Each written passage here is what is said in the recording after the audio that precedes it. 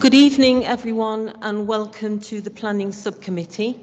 My name is Barbara Blake. I'm the chair of this committee, and I'm also a Seven Sisters ward councillor. Um, if we can have a quick round of introductions, please, starting with, um, well, to my left, the vice chair of this committee.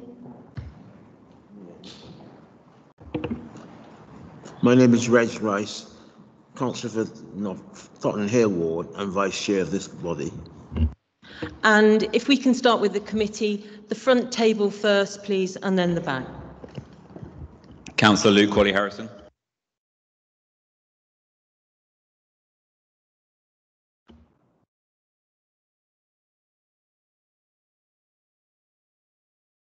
Councillor Yvonne Say, White Hart Lane Ward. Councillor Nicola Bartlett, West Green Ward. Uh, Councillor Lester Buxton, Crouch End Ward. Councillor Ajda Ovat, Northumberland Park Ward. Matt White, Councillor for Tottenham Central. Thank you. Um, I'll ask the officers um, to introduce themselves, starting left to right. Justin Farley, Legal Officer. Rob Krzyszowski, Assistant Director for Planning, Building Standards and Sustainability. Robbie McNaughton, Head of Development Management and Planning Enforcement. Chris Smith, Principal Planning Officer. Fiona Ray, Acting Committees Manager. Thank you. Um, there are um, officers in attendance uh, virtually and they will introduce themselves um, when it's relevant. So moving on then to item one. This is about filming at meetings. Um, this meeting is being recorded. All registered speakers should be aware that they will be recorded for live or subsequent broadcast via the Council's internet site or by anyone attending the meeting. Item two is the planning protocol. Uh, members and speakers are requested to note the information set out at item two on the agenda. And I ask you to um, uh, note that information. Um, item three, do we have any, oh, uh, apologies. We have apologies for absence from councillors George Dunstall and councillor Alexandra Worrell. There are no items of urgent business. So we're on to item five. Um, this is declarations of interest. Do members have any declarations of interest? No? Good. So item six is to approve the minutes of the meeting held of the meetings held on the 7th of March and the 17th of March 2022. Are they approved? Approved. Thank you. Um, item seven is the uh, planning applications. That's just for reference. So we're now on to item uh, item eight, which is um, uh, the Cranwood, uh, 100 Woodside Avenue, um, uh, and that's um, the proposal. Uh, uh, Christopher Smith, the planning officer, is going to present this report. Thank you. Thank you, Chair. Uh, good evening, ladies and gentlemen. This application is for the development of the former Cranwood Care Home at 100 Woodside Avenue in Muswell Hill. Uh, the following are the key features of the development. Uh, so the development is for the demolition of the existing vacant care home. There are three new buildings of three, four and six stories. That includes 41 new homes, 32 for council rent, which is 79% by habitable room. Eight homes uh, would have three or more bedrooms, 19.5% of the total. Five homes are for wheelchair users, which is 12.2% of the total. All units are dual aspect at, at a minimum. The floor, blue badge, parking spaces provided, play and amenity space, and improved access to Parkland Walk. Uh, so the application site is located on the southern side of Woodside Avenue at the junction with Muswell Hill Road. The site is adjacent to terraced housing and Highgate Wood to the south, Parkland Walk to the east, and a primary school to the west. The northern side of Woodside Avenue is located within the Muswell Hill Conservation Area. These images uh, show how the site appears from Muswell Hill Road, Woodside Avenue, and Parkland Walk. Haringey's development plan identifies the site for new residential development as part of the SA51 site allocation. Improved connectivity between Highgate Wood and Parklands Walk is another key objective of the site allocation. The proposal was for an entirely residential development formed of three blocks. Block A is the largest block of five stories in height plus roof accommodation. Block A contains all of the council rented affordable housing units. Block B is a four-storey block on the western side of the site. Block C includes two terrace dwelling houses. The existing terrace houses to the south of the development, the development proposal are within the site allocation area and do not form part of this application. An indicative master plan has been submitted with the application which shows how the terraced houses could be incorporated into a comprehensive redevelopment of the whole site allocation in the future. As such, this application complies with the master planning requirements of policy DM55. The development proposal will provide improved access to Parkland Walk by increasing the number of connections into the route and by providing qualitative improvements from it to Highgate Wood. This meets a key site allocation requirement. The development would appear as a four-storey building with setback roof accommodation when viewed from surrounding streets. This image shows how the building would look in the surrounding urban context from the south on Muswell Hill Road, which currently includes a four-storey terraced uh, series of properties. The design of the development proposal is supported by the Quality Review Panel. This image shows the proposed development as it would appear from the north on Muswell Hill Road. The building would be finished in materials reflective of those in the local area. The massing of Block A would be reduced by a spacious central access core. New street trees will be planted to further soften the building's appearance. This image shows the proposed development from the west on Woodside Avenue. The internal layout and windows for Block B have been designed to prevent overlooking towards the adjacent school. The development has been designed to be tenure blind so that the visual difference between the council rented and market, so sorry, so that there is no visual difference between the council rented and market housing. The development would include a lower ground floor level, which would provide natural surveillance onto the refurbished Parkland Walk. At ground level, a significant increase in tree planting and soft landscaping is proposed. The existing east-west route through the site would be widened and planted. Plain amenity space is provided for residents within this area. The arrangement of the buildings into three distinct blocks with the central core separating the two parts of Block A means that all homes would be dual aspect and natural light provided to all dwellings. Uh, sorry, the, the level of natural light provided to all dwellings would be maximised. Passive house certification is expected for Block A, which will minimise energy demand for these council rented units. The development as a whole will be close to zero carbon. So to summarise the development, the development, sorry, um, the new residential development is in, is in accordance with site allocation SA51. 41 new homes in total are provided, 79% by habitable room will be council rent homes. 19.5% uh, of the homes would be of three or more bedrooms, and 12% would be wheelchair user homes. The development is, a, is of a high residential quality with dual aspect homes in a, tenure, in a tenure blind development. There would be very high energy efficiency levels uh, with passive house certification sought. Uh, amenity and play spaces provided on the site. The quality review panel stated that this is an exceptionally well designed, thought, thoughtfully composed, elegantly proportioned, complementarily materialed and detailed development. It respects the adjacent conservation area, and there would be no detrimental impact on the amenity of nearby residents.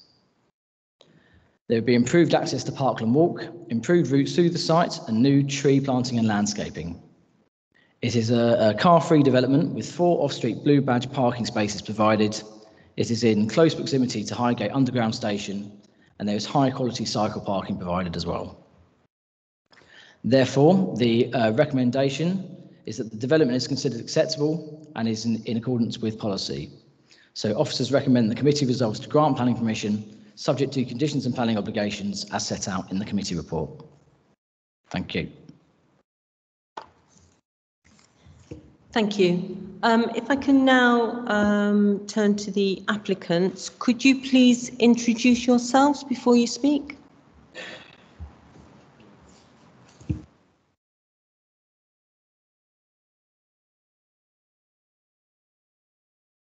Sorry, sorry. Um, so, do we have, um, sorry about that, Councillor Gordon.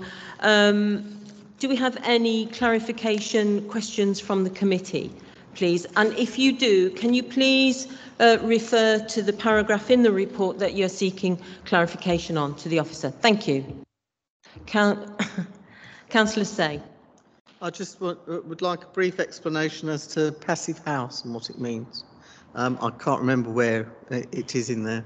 Um, I'm also a, a bit concerned about the um, it not being a zero carbon. But then we come on to that, won't we?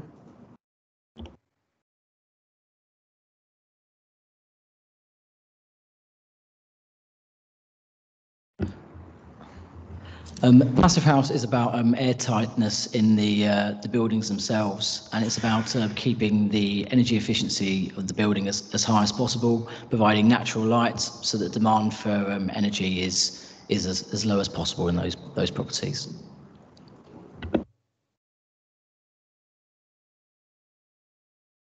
Are there any other uh, questions or clarification from the committee?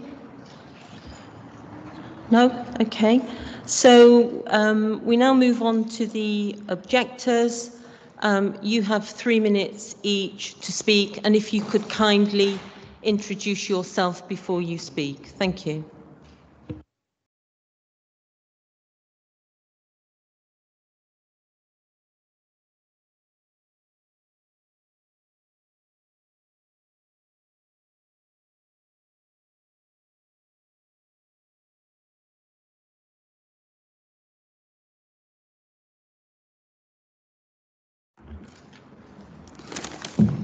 Good evening, and thank you for the opportunity to speak. My name is David Staples, and I speak this evening on behalf of Woodside Square, a mixed tenure development directly opposite Cranwood House. I must start by saying that we support the redevelopment of the Cranwood site for mixed tenure housing, but we object to the current proposals as the height and scale of the buildings proposed are too high and too big. The design has significant shortcomings and makes a negative contribution to the area. Haringey's development plan sets out goals that the proposed development fails to meet. Policy DM1B says development proposals shall relate positively to neighbouring structures, having regard to building heights, form, scale and massing. The majority of buildings in this part of Muswell Hill are three or four stories in height. The proposed development is six stories. The design officer noted it is a break from the norm of the prevailing low-rise suburban residential neighbourhood. He then attempts, in a convoluted fashion, to argue that building A is only four stories high, not counting the lower ground floor, or the top floor in the roof. These arguments are specious. Policy DM1A says all new de development must achieve a high standard of design. The officer's report says these proposals are an exceptionally high quality design. The officer is wrong. These proposals are not of an exceptionally high quality. Specifically, Flats on higher floors in Building A are accessed from open walkways. Streets in the Sky emerged as a concept in 1951 and morphed into deck access. They have had problems and have fallen out of favour. Why is Haringey perpetuating, perpetuating such an outdated design concept? Building A has a heavy mansard roof.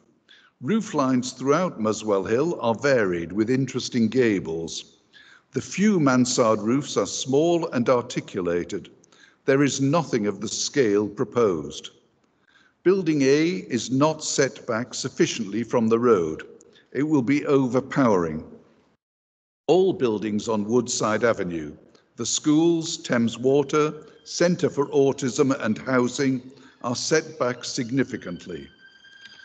Policy DM1 also says proposals will confidently address feedback from local consultation. The consultation elicited 244 responses, of which 93% were object- opposed to this scheme. The consultation was ignored. Mr Staples, um, you had three minutes and your three minutes is up now. Can I have two more sentences, Chair? Go on then. Um, this development does harm. You should send this back to the developer, instructing them to reduce the brief, which is the biggest problem, address the design concerns and resubmit.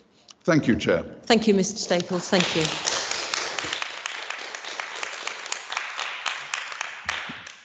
So are there any um, uh, other objectors who are speaking, who are listed here? Do we have Michael Gabay here? Michael Gabay? Michael would be next on the list. If he's not here, we have one other objector who's not a councillor first who's joining online. Uh, there might just be a brief pause while we set him up. Uh, so that's Mark Simons. Okay.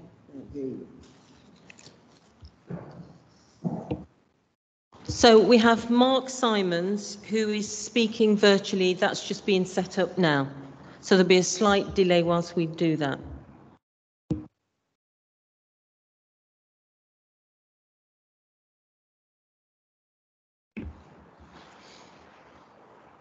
Thank you, Mark. You should be able to unmute your microphone and speak to the committee now.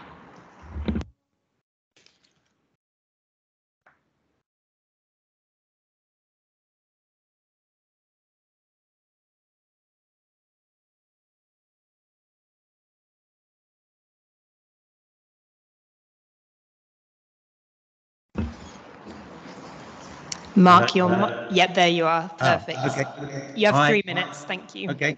Um, I'm interested in the definition. It's a car-free development. My objection mainly revolves around the parking. It revolves around the fact that there's no basement car parking, which is a provision for private development, um, and seems to have been completely ignored in connection with this application. Um, there have been numerous objections over the years, and the application fails to address any, in particular the overdevelopment of the site, which by my reckoning is 117 habitable rooms per acre. Uh, I've been in the property business for some many years, and um, when we are dealing with sites, that is considered exceptional. Um, the main problem, as far as I'm concerned, and I think I speak, I can't say on behalf of, but I know it's a, uh, a view that's shared from discussion. Um, the problem being the parking. Uh, the report talks about parking as being, the survey relates only to evening parking. And indeed, it is correct. In the evening, parking around neighbourhood, uh, neighbouring roads is not an issue. The problem about parking is during the day. One of the issues is that um, looking through some of the Haringey documentation, they require a CPZ, a central par- uh, uh, parking zone, um, in situations where there are uh, provisions that there can be no on-site parking. Consequently, in my opinion, there needs to be a solution to the proposal that follows the rule of law that says that there should be basement parking as there is at Woodside Square. There should be a central parking zone to prevent the uh, flow of cars encroaching upon roads that currently don't have them. And this is something that is 50 50 split amongst local residents. But if you are going to go ahead with this, in my opinion, you should be considering a section 106. You should not allow the application to be granted in its current form on the grounds of overdevelopment and the parking. And you should allow for the fact that you need consultation with neighbours to find out whether we can in fact agree on a CPZ because that is the only way under the way you are proposing this that it would be fair and reasonable. You are providing 75 car park uh, cycle parks for disabled parking and none for other residents. And you say in your document that the you will make sure people buying the property will be told it's very difficult to park in the area and that should be sufficient to put them off. In my opinion, this development is biased. I believe that there should be more consultation and the person who spoke before, I cannot agree more with what he said. Thank you, Mr Simons. Thank you very much. So we uh, we now uh, we move on to um, the councillors to speak. You have so that's Councillor Kathy Brennan. You have three minutes.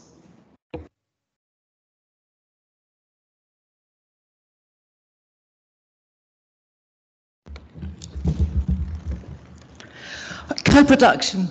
Of the 230 odd objections from Muswell Hill residents to the planned building at Cranwood, every resident I spoke to was in favour of more social housing at proper social rents. Objections largely related to the size, massing and the fact that the appearance does not fit with the architecture of Muswell Hill. Most objectors have objected to the previous plans and feel their objections have not been heard.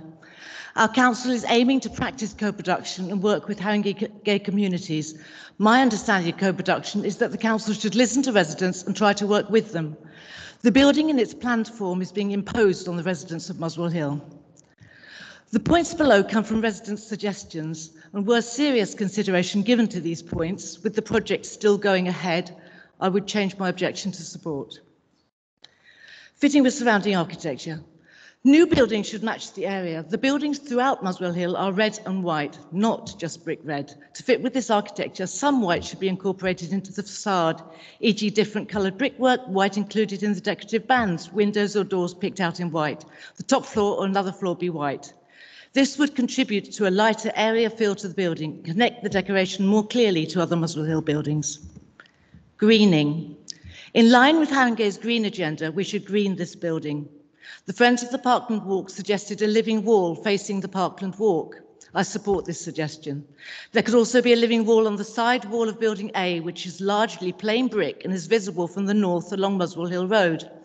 A living wall here would make the building fit with Highgate Woods and make a beautiful feature to be seen from a distance.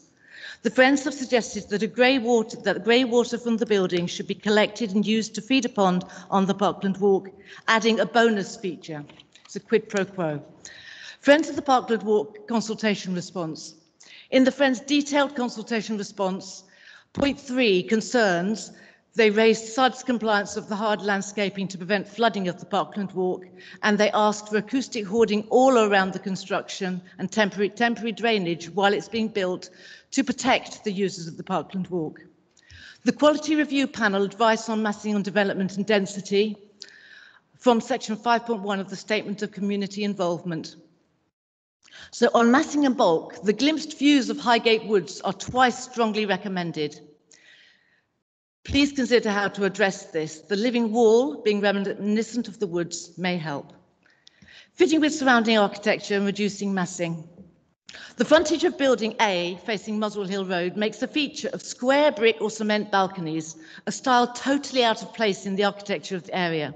If these balconies were lightened and in the style of the area, vertical brick bricked columns replaced with metal supports, the surrounds of the balconies also light and decorative, then the front of the actual building would be visible. The building massing would appear lighter. The building without moving would appear to be further back from the wall. This might also let extra light into the flats. Councillor Brennan, your three minutes is up. Thank you very much. Thank you. So we now have um, Councillor Scott Emery, who I believe is you're standing in for Councillor Pippa Connor? So you have three minutes, Councillor Emery. Thank you, Chair. Uh, as you said, I am here speaking on behalf of Pippa Connor. Unfortunately, Councillor Connor is currently dealing with a family bereavement and has asked me to speak on her behalf. As a former Muswell Hill councillor, however, I am quite familiar with this development, but please take the following views as that of Councillor Connors. Social housing is something that is vitally important to our residents, and I would like to say that it's good to see its inclusion on this site. I note that in the hundreds of objections to this development, that this sentiment is echoed by nearly everyone. While on this point, however, I believe it would be an improvement if mixed tenure blocks were the standard, with both social and private housing mixed. My main objection to this, however, comes from the lack of response to the many comments and objections raised by residents during the engagement process. I cannot see a single change between the original proposals and the final offer. The height and bulk of Block A would crowd out the street and dominate the border of the conservation area. This design is not in keeping with the Edwardian design seen in this area. Under Haringey Development Management DPD 2017, the policy DM1, delivering high quality design, states that all new development and changes of use must achieve a high standard of design and contribute to the distinctive character and amenity of the local area. Specifically with regard to building heights, B form and scale and massive and massing prevailing around the site. I would argue that Block A contravenes policy DM1 outlined above due to the materially different height, bulk and design. The proposal actively detracts rather than contributes to the distinctive character and amenity of the area. There are other points I also believe are worth mentioning. The 20 trees that are planned to be felled, the advisability of raised walkways potentially increasing risk for residents within the development.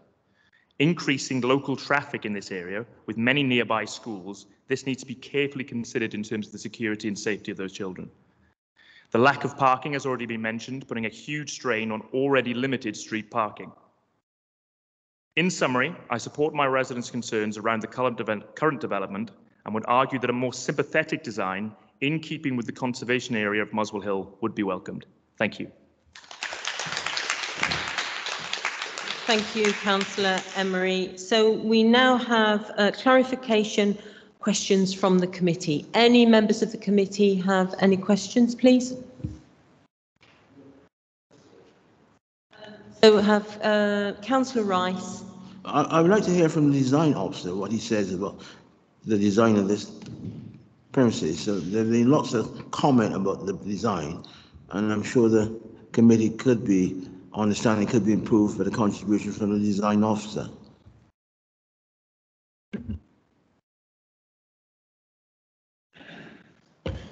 Chair, if I could just bring in our, our design officer, Richard Truscott, to um, respond to that. Hi, hi everyone. Uh, yes, um, was there anything specific, or do you want me to just comment on the um, design queries raised by uh, people like the objectors? Like the, the, height, for instance. So the height, um, I consider the height is compatible with some of the context and is a is a gentle, modest step up from some of the other context. Uh, the height approximately matches the uh, the row of, of, of shops with flats above immediately to the south on Muswell Hill Road. So that's an established context for that height. Um, it, it, represents a, a, an increase in one or two stories on the, um, the heights further up Muswell Hill Road and along Woodside Avenue. Um, but then that, those properties are in the conservation area, so they're more sensitive. It's, this is outside of the conservation area, so it's reasonable to step up a floor. Uh, the, the, the site also takes the opportunity of being built basically in, in an existing railway cutting to drop a floor as well, to have a, to have a lower ground floor. Um, but that floor will not be seen from the street, so it doesn't um, contribute to the apparent height as seen from the street. So I would consider it's a, it's a compatible height. In terms of design, um, it reinterprets the um, existing features of the neighbourhood. I think the architects are here and they will probably be best to explain it. I mean, as design officer and as planning officers, we don't seek to impose strict design guidelines on on developers um, exactly what um, is it stylistic flourishes they use for their architraves and and and, and um, window designs, but we do seek to um, negotiate with them a design that is compatible with the area, whilst being a modern reinterpretation of the variety of different contextual styles in the area. And clearly bay windows, balconies, uh, mansard roofs are one of the are features that are found in the area. um, particularly in, the, in some of the mansion blocks in the area. So that, that, that represents an acceptable approach to um, doing a, a, a contemporary reinterpretation. And we do consider it a, a really good quality design. It's by a very well respected architect's practice. And the quality review panel have agreed with uh, me and fellow officers that it's a really high quality design. QRP, the quality review panel, is, is a panel of independent experts, uh, architects, urban designers, and other built environment professionals without any particular and without any in, any involvement in, in in the development, just providing an objective view with their expertise, and they agree that it's a good quality design. I think I've covered all the design issues there. Thank you. Councillor White? Thank you, Chair. Um, yeah, I just wanted to clarify with Councillor Brennan. Uh, uh, possibly I wasn't able to hear because it's slightly noisy from the window here. Um, but I believe you were asking for consideration to be given to um, greening the outside of the building. Is that is that correct with the kind of green wall? And I, I just wondered if you could clarify exactly where on the building you were asking for that to be done.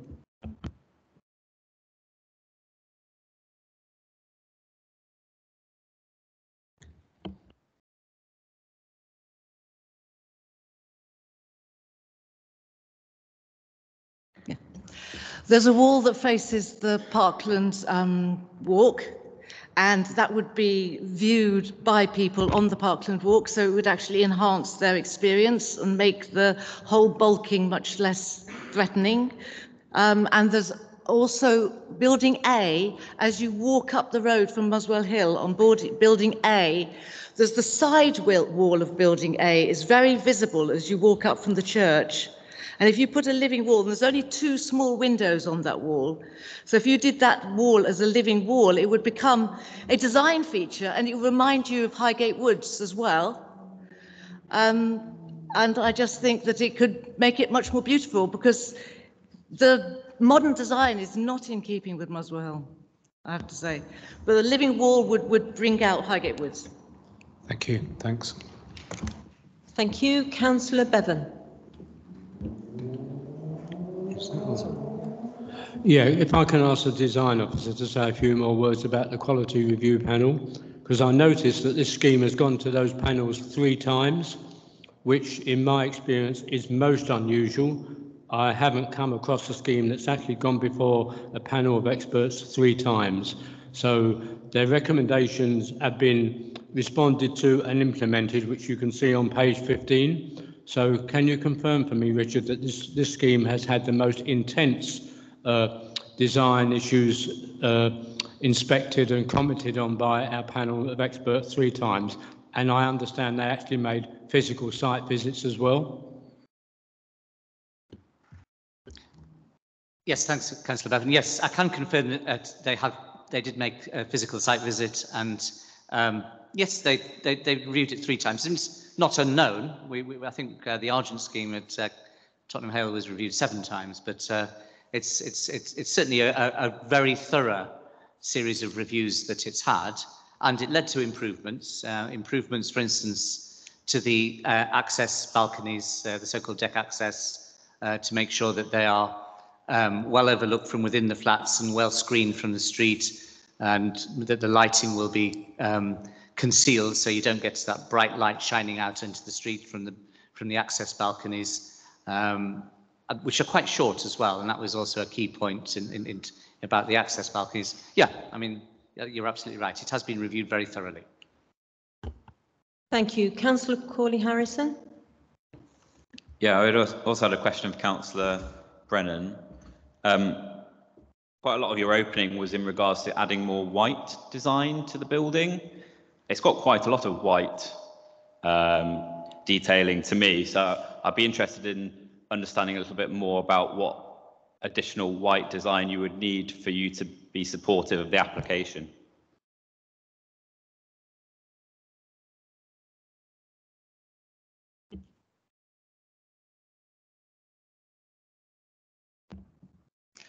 If that is the case, then I must apologise for what I've got. I blew up at what I got off the website and I could see absolutely no white. I could only see red. I could see um, design features which were intricate black and white sort of banding on the brickwork, but I couldn't actually see white as as is very prominent in Muswell Hill because it's nothing subtle about the white decoration in Muswell Hill.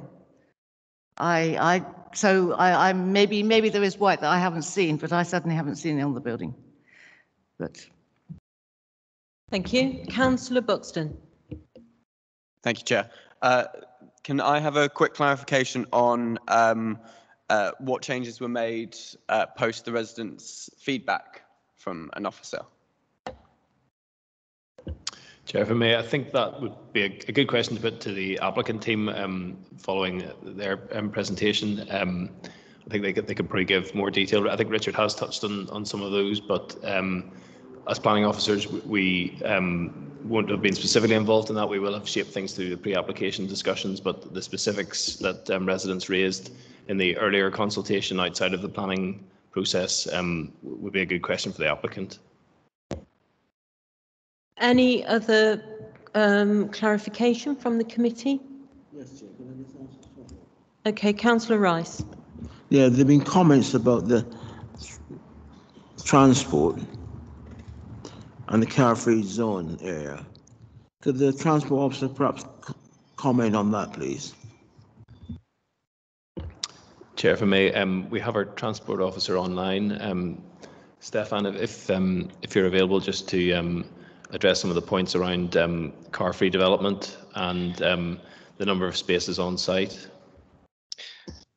Um, yes, certainly, Robbie. Um, Councillor Rice, so the the proposed development is not eligible for car-free status because of the PTAL, which is too low. It's only two, and the threshold is usually set at four or above.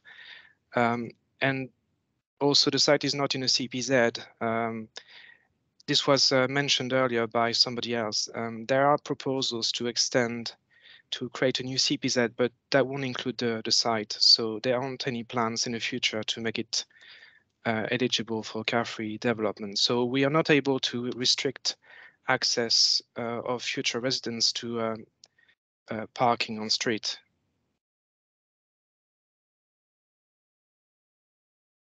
I'm not quite clear what's been said. Is this area within a CPZ or is the intention to bring it into the CPZ?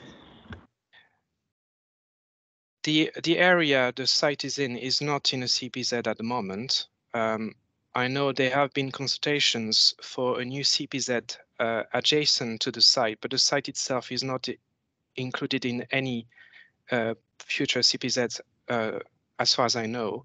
There may be plans in the future, but I, I can't comment on uh, on future plans. If you haven't got a CPZ, how then do you control the parking during the daytime? What's been commented on? How is that going to be controlled during the daytime without a CPZ? We cannot control parking uh, without a, a CPZ. Indeed, you're right. So thank you for that point of those points of clarification. Um, so there are no more um, questions from the clarification questions from the committee. So we now move on to supporters, followed by the applicant. So it's now you, Councillor Gordon. Thank you.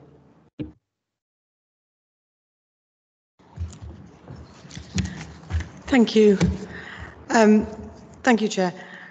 I just wanted to make a few points really. Uh, My name is Councillor Ruth Gordon and I'm the Cabinet Member responsible for house building, placemaking and development in Haringey Council. And um, I think somebody earlier on referred to this, um, that this should be sent back to the developer. Well, in this case, we're talking about the council and the council's ambition to build council homes for the many desperate people in this borough that are on our waiting list. I just would like to remind the committee that we've got 11,000 people in Haringey waiting for, desperately waiting for council housing. 3,000 of them are in temporary accommodation. And we are restricted in terms of what the council can do as to where we can build council houses. A lot of council houses are being built in the east of the borough because that's where we own the land. And we've got an opportunity with this particular site to build council houses in the west of the borough, which are absolutely and desperately needed. And um, that was one of the reasons why we uh, have been looking at this site for some time.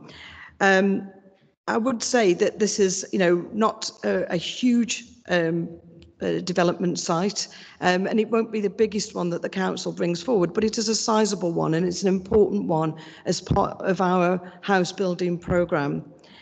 Um, what I would say, in addition to that, is that we're enormously proud. I'm certainly proud in, as a cabinet member of the house building programme that we've been embarking on for the past four years and will continue to in the next in this next administration. And I, I hope I can speak on behalf of the house building team of the officers that are represented here to say how proud they are of the house building programme. And the reason for that is not just because of the provision that we're making, but because of the high quality. And it's part of a, the mark of this administration, that in the council administration and our building house building programme, that we want to set a high bar as far as quality of housing provision is concerned. And we think that this particular scheme meets that high bar.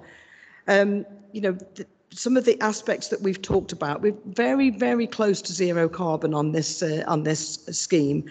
But the certification of Passive House, I think, is really important. And I wanted to spend a little time, if I may, Chair, on this particular aspect of it, because it means that we will be providing, out of the 41 homes, 32 will be council homes. So that's 75% of the scheme will be council homes.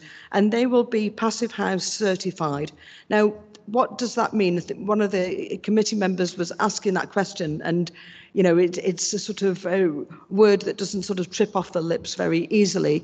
But what it means in essence is that you have things like triple glazing, that you have um, high levels of insulation so that you're not losing heat from the homes, that you have the orientation of the building to take the best advantage of where the sun is coming in, and the designs cater for making sure that the, the homes aren't overheated. So essentially what you get is warm homes in the winter and cool homes in the summer. Councillor Gordon, um, I'm sorry, I should have said that you have just three minutes and your three minutes is up My three now. minutes is up. I would just ask for your support for recommending um, permission to be, to be granted. Thank you. Thank you very much, Councillor.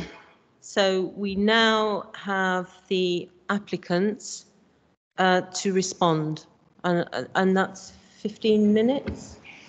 Um, as we had one speaker not speak today, it's actually going to be eight. It's going to be eight and a half minutes, um, deducting the time that Councillor Gordon spoke in support. So when you're ready, that will be eight and a half minutes. Right. Okay. So when you're ready, could you introduce yourselves, please, um, before you speak? So over to you. Eight and a half minutes.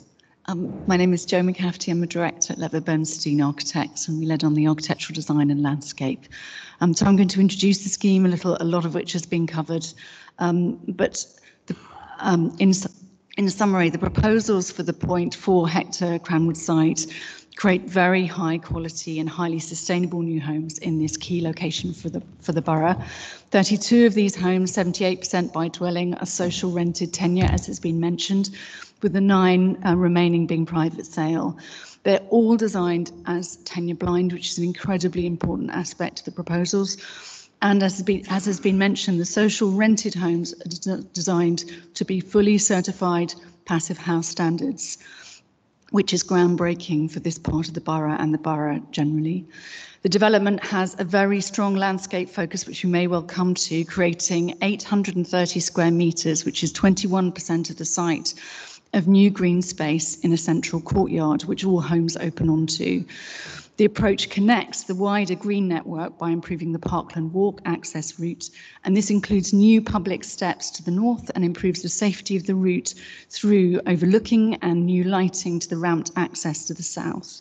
New trees are provided throughout, and especially those maximising value to natural wildlife, carefully integrated with the woodland edge. Also, SUDS has been mentioned this evening, and there is a very strong and carefully integrated sustainable urban drainage strategy across the site.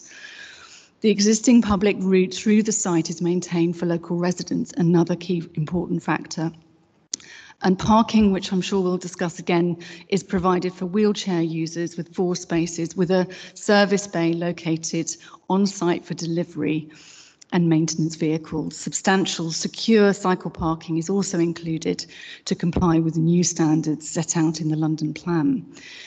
The proposals have been designed and tested through this rigorous pre-application process and the three QRPs as has been discussed already. And it should be said that during those three QRP processes in the pre-application process, the scale of the buildings was one aspect which was substantially reduced from the first QRP. Alongside that, a lot of detail refinement, material choices and re responses to the conservation area were taken on board. Alongside this, there were lots of townscape views and sunlight daylight technical modelling. The form, scale and, and, section and footprint of the buildings responds very carefully to the site's geometry and that of the adjacent street pattern and the complex topography of the site, which was created, as has been said, by the original Cranley Gardens rail station and platform, which once stood in this location. The upper floor of Building A, which addresses both Woodside Avenue and Muswell Hill Road, is handled, yes, as a mansard, but this enables the top floor of accommodation to be tucked within the roofscape with folded in dormer windows. And this means that from Muswell Hill Road, um, the building appears as a four-storey building with the top floor set within the roofscape. In addition, in terms of how the building has been designed, that top story is the top level of a series of maisonettes, and this means that no balconies are required at that level. Um, and that further reduces the massing impact. These things have been very carefully considered through the pre-app process. Not only is, the form of the buildings crafted from a response to this specific nature of the site, site, its constraints, so for example, the levels I've discussed, the interface with Parkland Walk, and also a water main that crosses the site from east-west, but also the drive to make the development so sustainable and to reduce energy bills for local residents. Therefore, the proposals are 100% dual aspect, and that does mean that is in creating um, dwellings that are dual aspect, gallery access is required. But as has been discussed, the galleries have been very carefully detailed and designed so that they serve a few number of homes. And also we've employed this canted bay which deals with both the balconies to create privacy and enclosure to make those balconies very usable spaces and very loved and cherished by their residents, but also to make the gallery accesses social spaces that are also protected and held within the body of the building. Brick detailing, bespoke metalwork and ceramic tiling all further help enrich the facades to create a truly crafted series of, of, of contextual but also contemporary buildings and care has been taken to detail dwelling thresholds and boundaries to foster real sense of neighbourliness between homes. Individual front doors on Woodside Avenue create activity and help help um, the, the street level security, as has been raised already, and also the handling of overlooking and privacy at low levels has been carefully considered with the Secure by Design officer. The interface with the school we've touched on, but all balconies are orientated away from the school-facing facade. All glazing to homes on the school-facing elevations have raised sills at 1125 millimetres with built-in furniture below to pull people away from those window spaces. And the top floor, um, the top story is designed as a, um, a mansard again, which again um, means the glazing is further set back. In addition to that, a number of trees, new tree planting has been discussed with the school to be planted on their side of the school boundary to, to further soften the facade. So in summary, the proposals are really groundbreaking in their sustainability credentials. They're very carefully crafted in form and have been heavily scrutinised. And they integrate a highly biodiverse native landscape which marks a real step change in the quality of mixed tenure housing provision in the borough. Thank you. Um, perhaps, Simon, you would like to talk about some of the, the parking issues? So it's uh, Simon Keating from uh, Civic Engineers with the Transport Consultants on the project. Um, we undertook a healthy street. Could you speak up a bit, please? It's difficult to hear you. Sorry. So it's um, Simon Keating from Civic Engineers with the Transport Consultants on the project. We undertook a Healthy Streets Transport Assessment to determine the site suitability um, to access uh, local transport, bus and uh, underground services, but also the amenities which are rel- relatively uh, in proximity to the site. So excellent access to town centre, shops, uh, schools, um, and a green space amenity. So it's part of a of a you know, 15 minute neighbourhood, which is uh, TFL and Haringey's objectives for new developments. Um, parking of four disabled spaces is based on the London plan provision for providing 10% of units with a disabled parking space. Um, this is based also on Haringey's blue badge statistics, which is, uh, which is around 2.9% of the population. So it's a, an over provision in, in that respect, but also uh, ties in with the number of uh, disabled um, homes being provided. Also, loading facilities will be provided on site um, and a turning circle, so to minimise uh, servicing from the high street. Uh, through, throughout the whole process, we've been in consultation with the transport and waste um, officers to determine an appropriate servicing strategy for the development. And this has been considered from, from the outset and gone through a rigorous uh, pre-app uh, process. To support sustainable transport, um, a framework travel plan has been produced. Uh, 75 uh, high quality, safe and secure cycle parking uh, spaces are provided on plot and also future residents will be provided um, with access to local uh, car clubs which operate in the area. So the, in essence, to summarise, it's a, it's a highly um, sustainable uh, location to access both public transport and um, local amenities. Thank you. That's your eight and a half minutes um, up. So can I ask for any clarification questions from the committee? Um, can I just say, Councillor Buxton, have you had your point, was your point clarified? Uh, no, so I would like to get it clarified again. Okay, and then I'll bring you in, Councillor, yeah. Uh, so would you like me to repeat it? Uh, yeah, so with the um, uh, responses from residents, uh, what has been uh, substantially changed about the uh, about the project?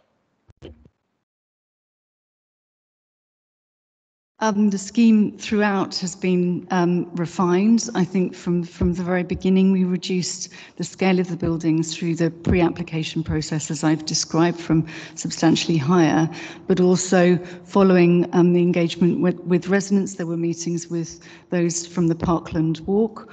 Um, there's been refinement around the, um, the landscape strategy and the handling of the Parkland Walk, and also refinement of the balcony design, um, the integration of, of paler materials um, in the facades, um, and uh, yes, uh, uh, the kind of refinement of that. There's also been engagement with the school, um, uh, both to reassure them about the design of Building B and uh, show them the internal arrangements so that it's very clear that um, uh, the sills are raised and the, the built-in furniture pulls people back from those uh, windows, and also to discuss with them more tree planting on their side of the boundary. Councillor Cawley-Harrison. Yeah, I've got a few questions. Um, first, appoints Councillor Gordon. We know that there's a council housing shortage, but we want the best design. So we won't be blackmailed into making a decision based on the number of council homes that are desperately needed. Um, question to the applicants. Point was raised about the proximity to the road earlier and effectively the depth of the front gardens or frontages. So I'd just like more detail on the reasoning for that because a setting back would give um, less of an oppressive feel on the on on the roadside. On the addition of the gallery access, you touched on it. I, I don't believe that they're generally supported by the council due to historical issues, ASB overlooking and that sort of thing. what other options were explored before a gallery um, was decided upon. In terms of the overlooking from Block B on the school, which you just referenced there at the end, um, there is a diagram that has some arrows showing the direction, I think, of overlooking, um, which I'm sure that I could find. And it shows that um, overlooking, it's on page 59, uh, it shows that the angle is determined by not being able to see past built-in furniture. But of course, that could be removed at any point because Block B, presumably, anyone could change their furniture as, as they like. So has the overlooking um, detail been provided with someone up against the windows without furniture in place?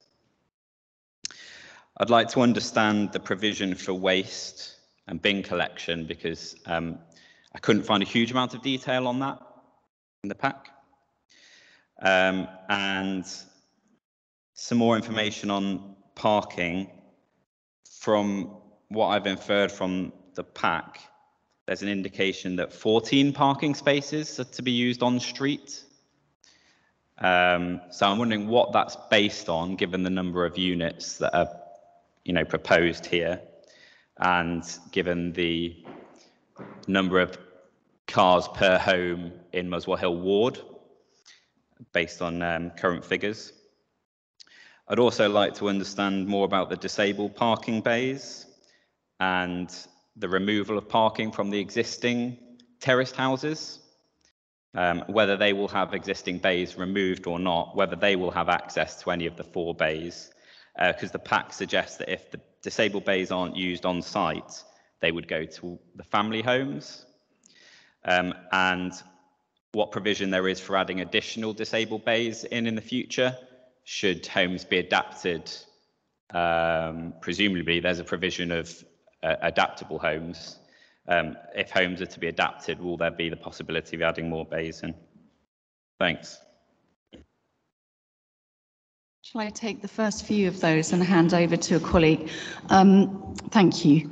Um, in dealing with the setback first, um, the as as you might appreciate, but um, if, for example, we provided substantial front gardens, as, as is evident in some local properties, not all, um, then the um, private amenity space for the development would be considerably less. Um, what we've tried to do is work with the complex topog existing topography of the site. The reason for that is also so that the site drops, as you as you well know, very quickly away from Woodside Avenue, and that's the reason for that is is because of the the existing the platform, um, and we want to reduce the amount of spoil and soil that is taken away from the site. So working with the topography is really important. So what we've used, what what we've done is work with that topography. Um, the the key thing is also to enable front door access on street to help activate the street and that if you talk to any secure by design officer or police officer they will tell you that helps activate the street um, and so we've, we've designed the, the maisonettes on those lower floors um, and that works very well with the levels. So obviously level access at that point is incredibly important if, if you push the whole building substantially back, then you would end up with very loose, large front gardens um, and, um, and very little private amenity space. Those front gardens will be facing north onto Woodside Avenue rather than creating shared amenity space, which is sunny and south facing to the rear of those family properties. So that's why the building is, is pulled forward.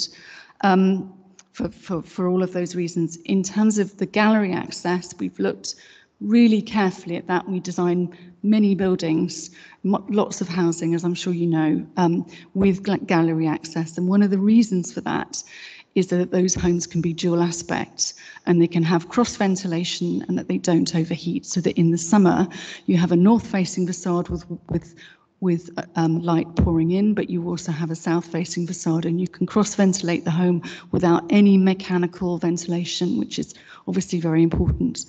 So what we've tried to do is strike the right balance and ensure that there aren't a lot of homes off each gallery. And also because that's when we refer to streets in the sky, as, as was said earlier, that's where those problems align, where you have lots and lots of homes sharing that, that route or that space.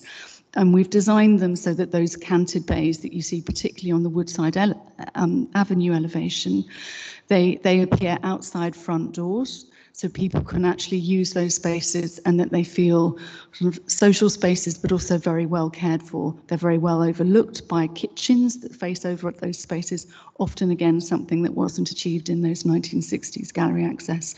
So we have we have really thought about that and our experience is working on um, on similar housing projects is that actually as long as you ensure that a few number of dwellings share those galleries, they provide additional amenity space as well as cross ventilation of those homes.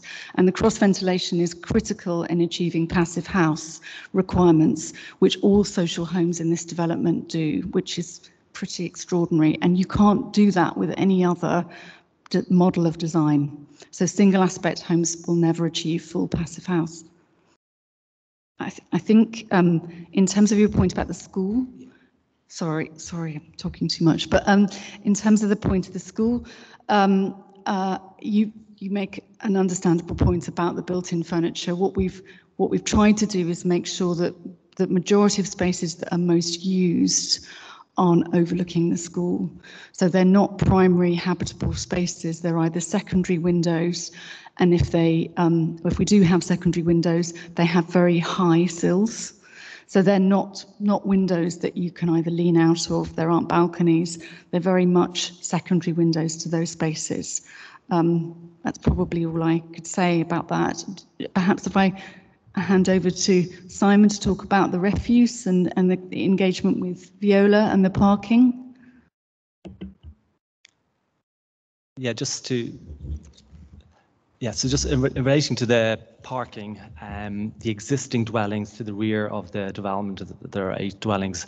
There's no allocated parking dedicated to those um, eight dwellings. The on-plot parking, which I believe there are six marked bays, the rest is informal or informally parked in. The six marked bays were associated with the now non-operational uh, care home. Um, as regards the refuse strategy. This was uh, agreed with um, Haringey Waste and their uh, operator Veolia. Um, block A, the refuse store faces uh, Woodside Avenue, and this will be served served from um, Woodside Avenue in order to allow this to occur, an extension of double yellow lining from the site entrance will be extended to provide uh, sufficient space for the refuse vehicle to pull up and be within the permitted haul distance from the bin store to the rear of the vehicle. Um, as regards the internal um, sites, so block A, S or B and C and the um, existing dwellings to the rear. The vehicle will operate as it currently does by reversing into the development, and this has been as it currently occurs and has been agreed with Veolia, the, uh, the operator, and the waste uh, colleagues or officers in Haringey. And as regards parking um, capacity, so we undertook a parking beat survey in October 2020 on two weekdays. Um, we covered both the uh, period when most residents are expected to be home, so that's between four and five in the morning, which uh, demonstrated that within the, the proximity of the site, there are approximately 34 available parking spaces. During the day, um, this was down to uh, 23 spaces, accounting for um, perhaps uh, pick up from the school for that, that period. So in the, in the worst case scenario during the day, there are 23 available spaces. Um, it was determined based on the transport classification of residents. It's a, a TFL um, document where you can profile the likely re residents and their, their likely transport choices that who the development is aimed at, both the uh, social housing element and the private sale element, uh, the three categories identified would have low car use and higher propensities to use public transport or sustainable travel measures. Um, again, the based on the site's accessibility to uh, underground stations, which is about 1.2 kilometres, um, frequent uh, bus services to the um, underground station, and proximity to uh, town centre amenities, schools, local shops, etc. Um, it's deemed that the site can support a low car or a car-free um, development.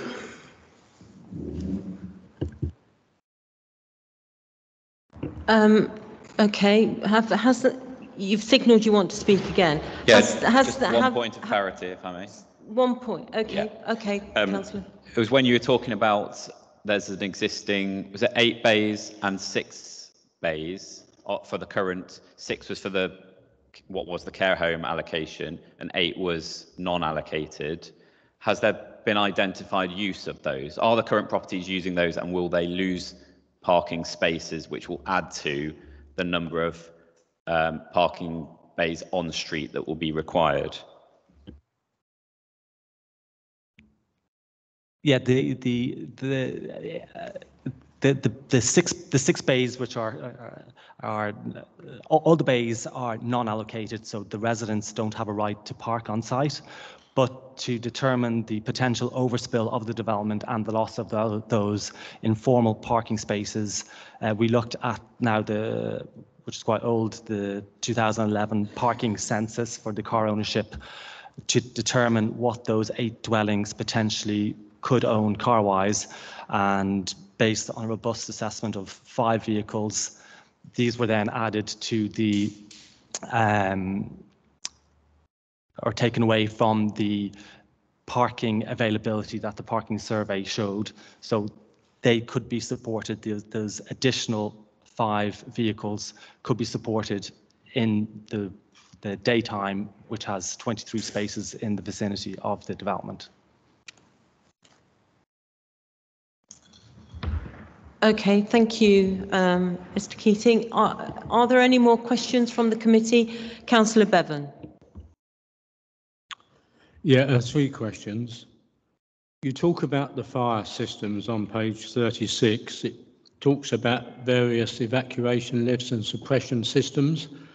There seems to be different fire protections for the various blocks. Can you just clarify each block exactly what fire protection system they've got and the lifts? So that's my, and I'm assuming they've all been approved by the fire brigade. That's my first uh, question. The second question is, with this new way of living with passive house and heat pumps and all that type of thing, it's good industry practice now. After people have lived in these properties for say six months, you do a survey to pick up any problems that you can avoid in future. I wonder if you would accept a condition in this application that a survey of all the residents would be done after an appropriate period of time, which I would hope you would do for all your council schemes. And then my last question is, the nine blocks that are being sold privately, I'm not quite sure what tenure they're going to be. I'm concerned that if they were sold freehold, they would not contribute to the maintenance of the, of the, the estate roads and greenery and all that type of thing, because that's what's happened on our council estates when we've sold freehold properties. So I'm not quite sure how that issue has been addressed.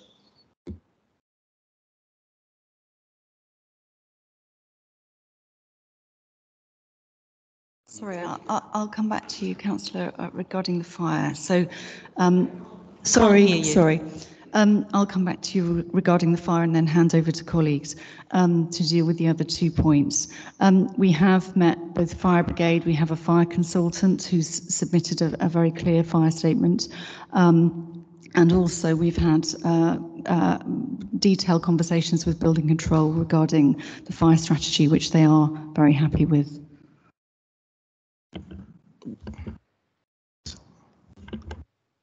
Uh, sorry, sorry, sorry about that.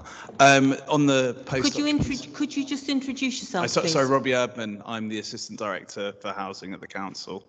Um, on the post-occupancy surveys, that's part of our standard procedures for every every site that we bring forward and part of our gateway procedure. So we'll commit to that, as we do in fact commit on every scheme.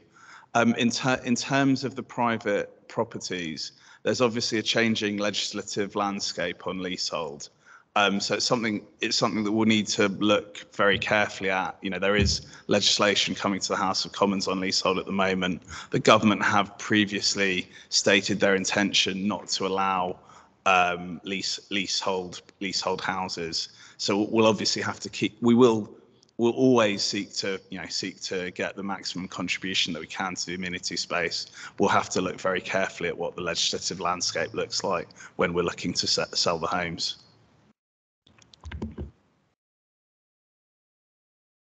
And Chair, if I may just um, come in with a, um, point of clarification on the energy monitoring on page 47 in um, condition 20, um, point C of that condition um, requires um, after first occupation evidence of the performance against the energy targets. So that is secured in the conditions that are recommended. Did you want to come back, Councillor Bevan? Yeah, that's not, I, I accept what you say, but that's not picking up the problems that residents might have living a new way with passive house and all that other type of equipment, which is new to a lot of people. So I want the survey to pick up those type of problems. And I, I got your assurance about if it's freehold, they don't end up paying for the maintenance of the estate. I don't know whether we can strengthen that because it's just an assurance and you know I, I don't know if we can make that a condition or a, a informative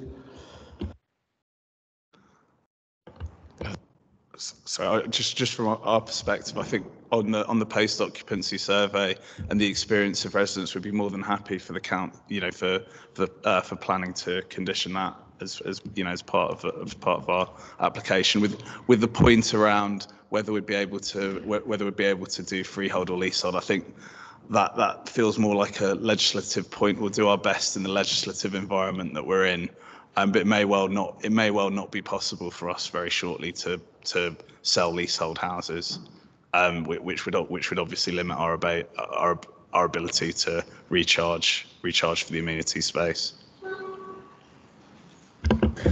Chair, yes, um, and happy to incorporate Councillor Bevan's um, suggestion into point C. Um, the, the, final line of that is um, that the, the, measures to monitor that should um, use data from the first year and a brief statement of occupational involvement. Um, I would add just after that to say, including a resident survey to evidence this training and engagement. Thank you. Councillor Say. Yes, I'm coming on to the carbon. Uh, basically, the London plan, it says on page 34, uh, says it should be a carbon zero, and you've got it down to 90% reduction, which is good, but I'd like to know why it isn't zero. Also on 6.179, uh, there's a financial offset. Well, you can't financially offset the end of the planet, I'm sorry. We've got to stop doing this. I'm so sorry, I didn't hear your second point. Would you mind repeating that? Sorry. The second point being uh, we're paying a financial contribution to offset, not, not complying with that 0% carbon. We can't do that to save the planet, can we? We can't pay money to save the planet. Thank you, Councillor. Um, perhaps if I just respond on the, the zero carbon um, and the fact that we're 90%. The reason for that, um, as I'm sure everyone uh, in this room can appreciate, is that designing a passive house scheme in a um, in a sensitive site is is quite complex in terms of actually ensuring that the form of the building is contextual um, and and also achieves net zero carbon. So, for example, a simpler scheme that achieved, achieved net zero carbon would have a flat roof um, and um, possibly, we believe, not sit contextually within its, within its, within its setting. Also, a scheme that's higher density um, with taller buildings would um, achieve net zero carbon more easily, but those that are smaller, that have a smaller number of homes and a smaller roof space, um, uh, to achieve 100% um, uh, net zero carbon is quite quite well, very very difficult in that in that instance. So um, if you're visiting any net zero carbon schemes, you'll notice that that often they have flat roofs. Often either they're very high density and they are um, tall with flat roofs, um, or they are terraces of houses, and it's uh, uh, very difficult to achieve. Others that have a contextual roofline that deal with um, PVs in a sensitive way, for example, that also achieve very high levels of biodiversity net gain. So you're greening spaces um, uh, rather than using them for other functions. So what we've tried to achieve is the right balance and pushing the most sustainable scheme, but also a scheme that sits well in its context. Um, thank you. Could I bring in Rob Krzyszowski? Thank you, Chair. Um, and just to um, elaborate on that a bit further, Councillor Say, you're quite right. The policy preference in the development plan is for zero and low carbon on site.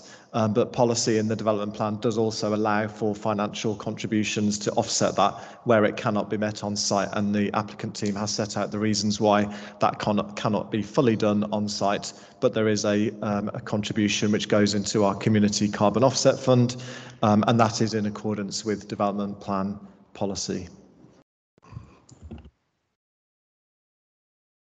Okay, any more questions? Councillor Cawley-Harrison. Yeah, I'd just like um, further clarity from the maybe from the applicants or the officers. There was a reference made in the presentation um, regarding potential further development of the terrace houses. So I'm just wondering whether the scheme had those terrace houses been in council ownership, would the scheme be coming forward as that was being presented on screen as if it were to come forward um, in future, or, or we is that going to be a two-phase scheme, and is all the provision there for that to happen? As in on site, will there be enough, you know, outdoor space and, and all of these sorts of things were that to happen?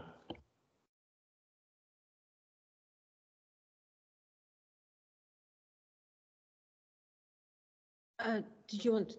Yes, um, just to, to, to, clarify the planning position on that, um, the, the site is within a site allocation and that comes with it um, certain responsibilities to, to master plan and, and look ahead. Um, in this case, the applicant team have done that. They, have um, shown an indicative scheme that um, that we consider to be acceptable in, in, design terms. and really, the, the obligation is, is to show that this development doesn't fetter that coming forward. So in terms of planning considerations, that's really all members need to consider. And um, our recommendation is, is on the basis that we're satisfied that, that, that that's adequate for that obligation.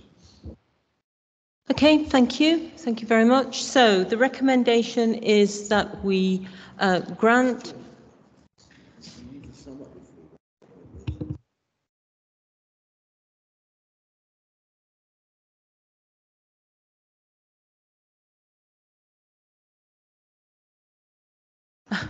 Um, uh, as the Vice Chair is very helpfully guiding me through this meeting tonight, thank you, Councillor Rice. Um, uh, as I've said, the uh, recommendation is to uh, grant. I think we have had a good debate tonight um, uh, and ha have had all of the clarifications and questions addressed. Can I just pass over to you, Mr McNaughton? Thank, thank you, Chair. Yes. Um, so as you say, recommendation is to grant, um, as set out in the report um, and the addendum, and also um, with the amendment to condition 20.c that I noted earlier.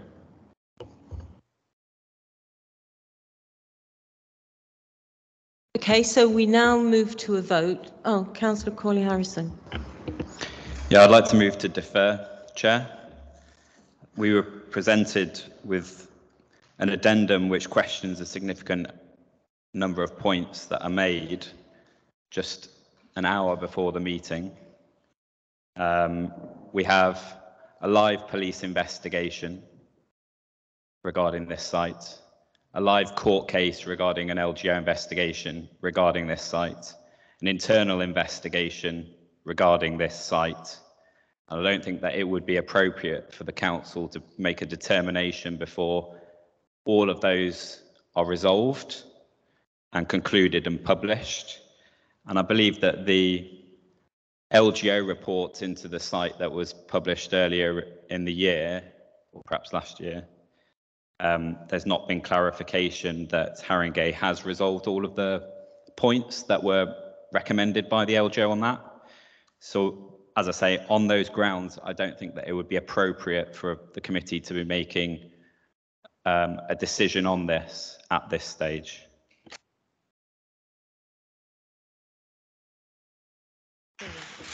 Uh, Chair, if I may, um, I, th I think at this point it would be helpful just to hear from our, our legal officer on this point.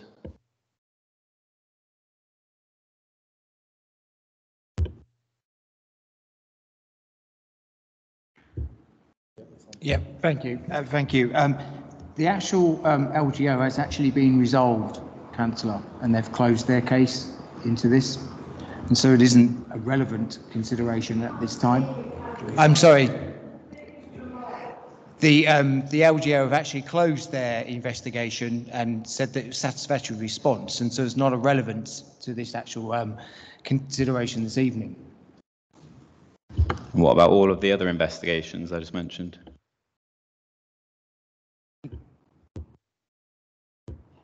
I'm not aware of any court actions regarding this site either. I believe there's a live court case regarding the LGO report. Councillor Corley Harrison, can you go through the chair, please? Um, Councillor Bevan, you wanted to come in. Yeah, in the addendum, of which it includes two late responses, one of them is anonymous. In my opinion, anonymous submissions should not be accepted. Perhaps the legal officer would like to comment on that because I would certainly not accept anonymous emails uh, into my box asking uh, various questions. So I would not support a deferral of this decision.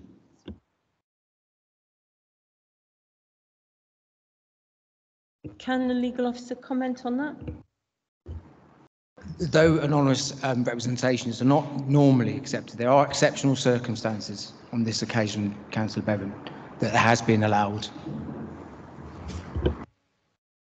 Okay, so um, Councillor Cawley-Harrison made moved the motion to defer the matter. I, I, it doesn't appear to me that he has that motion seconded. I'm Is just is it about seconded? I'm just about to ask for us to see if there is a seconder, Councillor Rice. So um, uh, Councillor Cawley-Harrison has moved to defer. Uh, Is there a seconder? No. Okay. So then we move to a vote. So all those in favour, please show.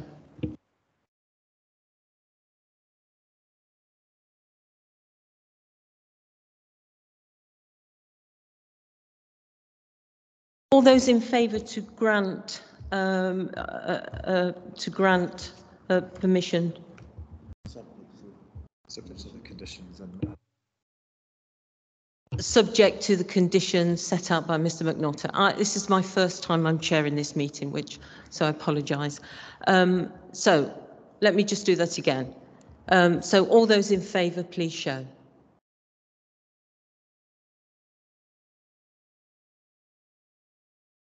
All those against? Any abstentions? Thank you. Okay, so that's that is resolved. Thank you. Thank you very much.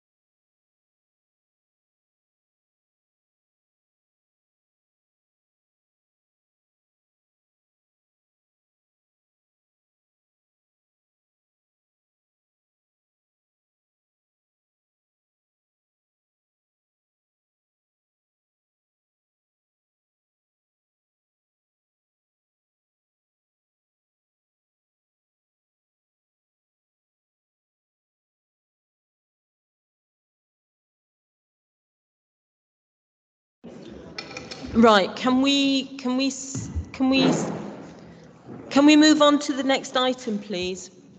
Which is item nine, um, which is 103 to 107 North Hill N6 4DP. Um, The recommendation, recommendation for this is to grant.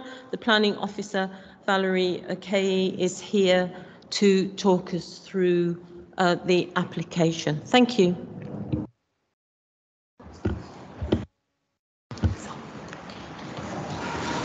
Good evening. The proposal is for the demolition of existing buildings and redevelopment to provide a new care home together with a wellbeing and physiotherapy centre, providing up to 70 rooms with ancillary facilities, car and cycle parking and associated works. The existing care home is highlighted in red and the site is occupied by a series of interconnected buildings on an L-shaped plot. The existing buildings on site have two frontages facing onto North Hill and onto View Road. The site is located within the Highgate Conservation Area and to the north are the adjacent row of Grade 2 listed buildings fronting North Hill, which is highlighted in blue. The existing buildings on the site have two frontages facing onto North Hill. Sorry, to the south are the locally listed buildings fronting View Road, highlighted in red. This is a series of aerial views of the site. Immediately north of the site, which is highlighted in red, is a narrow strip of land owned by the council, which falls outside the application site boundary. Beyond this are the rear gardens of the properties fronting Yeatman Road. To the south is Waverley Court and 1A View Road and you can see that the site is well screened by trees. This is the front of the site from View Road and the adjacent locally listed house. And this is the front of the site from North Hill and the adjacent listed Georgian Terrace.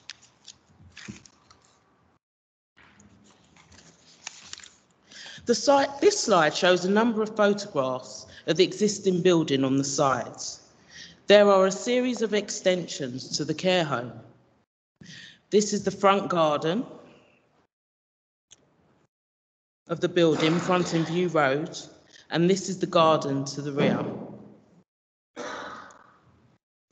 The- these are also some photos. This is the 1960s building and main entrance fronting North Hill, and the building has been vacant since 2021 when the care home closed. The proposal includes a new modern care home facility together with a wellbeing and physiotherapy centre, 70 bedrooms, landscaping, retention of significant trees, new tree planting, car parking, cycle parking, disabled parking bay, electric car charging points, private communal amenity space provision, and more sustainable and any, an energy efficient building. The considerations for the scheme are as follows. Principle of the development, quality of accommodation, the character and appearance of the conservation area, high quality design, appropriate scale, high quality landscaping scheme, retention of new um, trees and new tree planting. The proposals would have no material adverse impact on the neighbouring properties and it promotes sustainable travel and it meets the energy and sustainability requirements. I will now focus on one of the key issues. In terms of the principle of the development, traditional long-term senior care meets the requirements of policy DM15 to provide an adequate replacement which is 70 per bedrooms proposed, with 43 bedrooms being replaced. A wellbeing and physiotherapy centre meets the requirements of policy DM15, meeting an established local need and providing a standard of housing and facilities suitable for the intended occupiers. That's 39% of the 70 bedrooms proposed. And the proposal also meets the requirements set out in the current housing strategy as it will provide a more modern senior care home which is needs based. The proposed development is laid out over four floors and I will look into each floor separately. This is the proposed basement plan which accommodates 17 car parking spaces and cycle storage space. And the basement also accommodates the physiotherapy centre and other ancillary and servicing facilities. This is the ground floor plan. The bedrooms are highlighted in light green on this floor and will provide convalescent short stay guest accommodation. And the resident facilities are in yellow and staff rooms highlighted in purple. Each bedroom has its own ensuite bathroom with views to the rear and front gardens. The residence facility also has views onto the landscaped areas. And the grey shade to the left shows a vehicle access via a ramp into the basement car park from View Road. And the primary access to the care home will be from View Road, and the North Hill frontage will provide pedestrian access to the Wellbeing and Physiotherapy Centre. And the entrance to the Wellbeing and Physiotherapy Centre is from North Hill, and the entrance for servicing is from North Road. It's sorry, from View Road. This slide shows the proposed first, second and third floor plan. The first floor plan will be dedicated to older people's care. The second floor plan will be dedicated to dementia care. Both floors will include day space. The third floor is dedicated to the Wellbeing Centre only and provides convalescent stay accommodation. The quality and layout of the proposed accommodation is considered to be suitable for the intended occupiers in line with the requirements of policy DM15. This slide is the landscape master plan, which shows the existing trees to be retained alongside new tree planting and different types of vegetation, alongside other landscape features. This is the urban greening factor comparison plan. The plan to the left is existing and the plan to the right is proposed. The urban greening factor can be higher even though the landscape space has been reduced, as the lawn in this instance is replaced with a larger number of plant species, which increases biodiversity.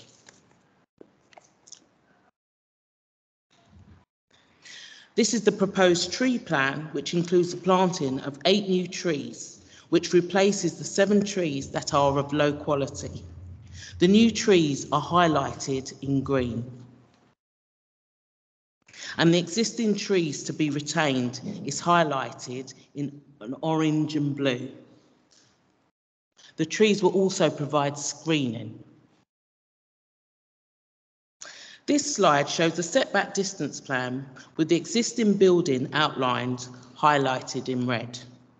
This slide shows the 20 to 30 metre distance between the main rear wall of the properties on Yeatman Road and that of the proposal. It is important to note that the site itself and many of its neighbours are densely landscaped, with existing trees to be retained and additional trees, which also helps to reduce loss of privacy and overlooking. The proposal broadly returns, follows the form and footprint of the existing building with the proposed building line pulled away from boundaries to neighbouring properties. And the proposal also meets BRE daylight and sunlight guidance. This slide shows the proposed elevation and existing building outlined in red. This slide also shows the proposed elevation and existing building outlined in red. In terms of the impact of the proposal on the conservation area, the proposal enhances the quality of the area. The proposal front in North Hill fully respects the listed terrace and its urban context. The proposal front in View Road respects the height of neighbouring houses. The proposal is of high quality, a high quality design of an appropriate scale to its context and respects the visual amenity of the streetscape and locality generally and is supported by the conservation team. This slide shows the existing and proposed building on the View Road frontage, which respects the height of the neighbouring houses and has been designed as a contemporary reinterpretation of a suburban villa. This slide shows the existing and proposed buildings on the North Hill frontage. The proposed building reflects the proportions of the existing one and is a significant improvement. And it fully respects the listed Georgian terrace to the right. This slide is a view of the proposed building along North Hill. You can see the listed terrace. This is the view of the proposed building along View Road.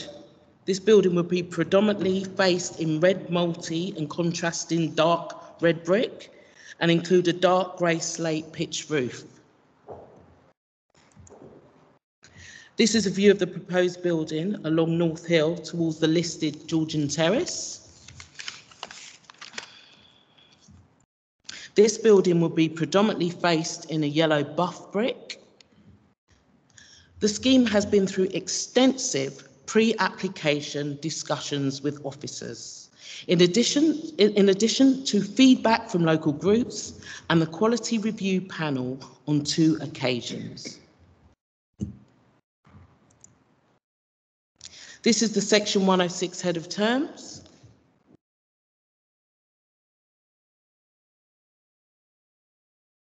Accordingly, the proposal is recommended for approval. Thank you, Chair.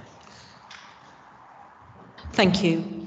Um, so do we have any uh, clarification questions from the committee, please? So, um, Councillor Bartlett. Thanks. Can I just clarify what which um, which part of the development is the main access for cars? Is it View Road or or um, North Hill?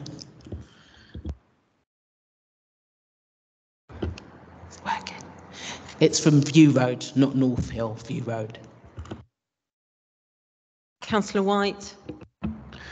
Thank you, Chair. Um, yeah, now I've got a question on the uh, principle of development and uh, the um, the claimed um, accordance of this development with uh, policy DM15. So I'm I'm actually um, looking at page 281 in the pack which is about the uh, the pre-application briefing, uh, where it's noted that uh, it was raised uh, that there are going to be that, that, that the the planned uh, use of the site is a different uh, kind of specialist housing than um, the existing use. The existing use being long-term residential care home and the, the, the new plan is for short-term stays after hospital treatment. So um, what I'd like to know is uh, what assessment has been done of the need uh, for those different types of specialist uh, housing and uh, what was the outcome of those assessments and are we still confident after that that this um, accords with uh, uh, DM15.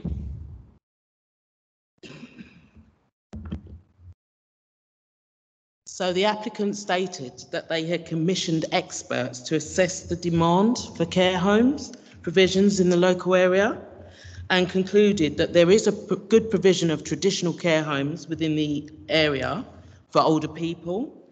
However, they identified a strong demand for nursing and convalescent home to assist older people to recuperate from operations and increase their health span. Thanks. Councillor Cawley-Harrison. well, two points. One was very similar to uh, Councillor White, so it's not a care home. Yes, it is a care home with a very small element that relates to the um, recuperation, convalescent and. All right, so different to the recuperation, pre-app.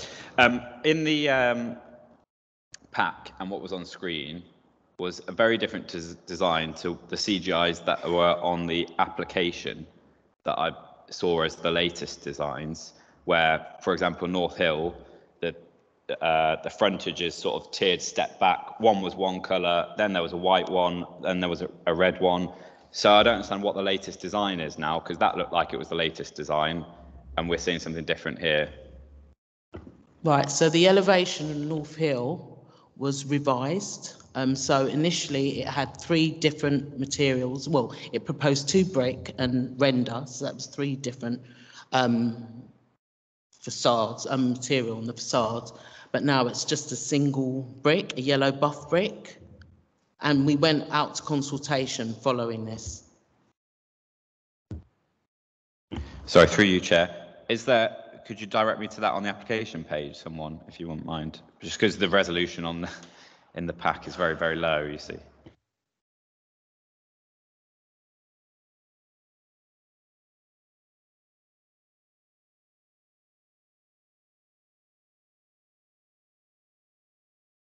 So on page 262, it says proposed North Hill frontage, and you'll see that the proposed frontage, which is the amended frontage, is a single yellow buff brick. Yeah, sorry, again, through you, Chair. It was on the application web page that I'm referring to.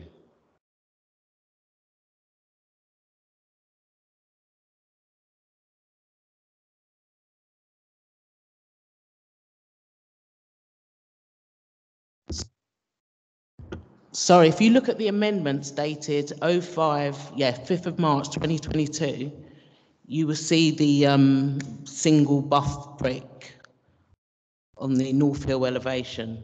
So if you look at proposed elevation um, on, yeah, so you've got a list of documents that were submitted. So you had um, updated design and access statement to reflect the um, elevation that was amended.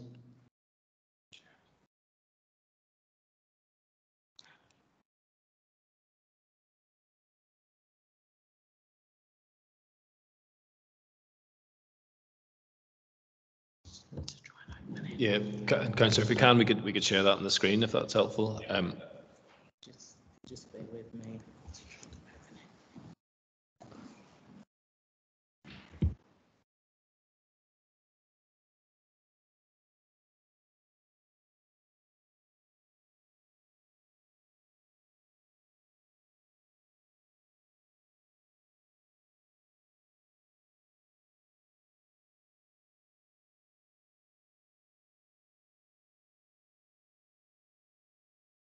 Can, can, do you mind, councillor, if we come back to that? And I can just see if there are any other questions or clarifications from the committee. Councillor Bevan. Well, it's, it's on that word yellow, because in these papers it does say yellow, which I think would be awful. But when you saw the picture on the screen, it was not yellow. It was a, a sort of paley reddish. So I wouldn't like the developer to get this permission, see the words yellow in there and start putting yellow bricks, because that would really spoil the whole scheme. Um, Councillor, I think we have the image almost ready. Uh, It's probably worth going to Richard, our design officer, just to um, explain um, what he, his expectation is of, of what that brick will be. Yes, I, I said exactly the same. I, I- I would call this buff, not yellow. I mean, I don't think it's going to be a bright yellow in any way. It's clearly designed uh, in those images to match the colour of the existing Georgian houses. And I think that would be the, any expectation that, that, that we will. We will obviously secure the material by condition, but it's clear that the material will have to comply with the elevations that, should you choose to approve this, uh, will have been approved, which will be um, elevations that show the brick matching the colour of the existing terraced house next door, which I would call buff, not yellow, but the applicants chose to call yellow. So, but it'll all be down to condition. Thank you. So, uh, oh, how are we doing? The chair, if I might just at this point suggest an informative, perhaps, um, could be a way to deal with that to um, to make it clear that um, uh, it's a, a buff brick um, that, that w- should be accepted as part of that condition um, rather than a yellow brick.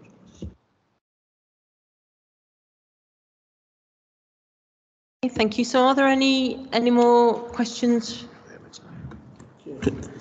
Councillor Rice. Yeah, can I, can I ask why they're taking out the trees? I can't see any need to take trees out from this development.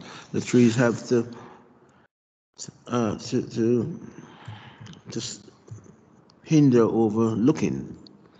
And, you know, I'm not sure why the premises being not down anywhere, but I'll ask that when the developers come on, because I, uh, I quite like the current premises, particularly from the garden, but who's me?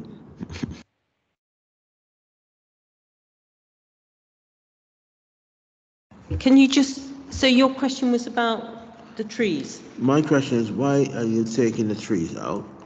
And why are you knocking the, the, the current buildings down? Because I can't see anything wrong with it.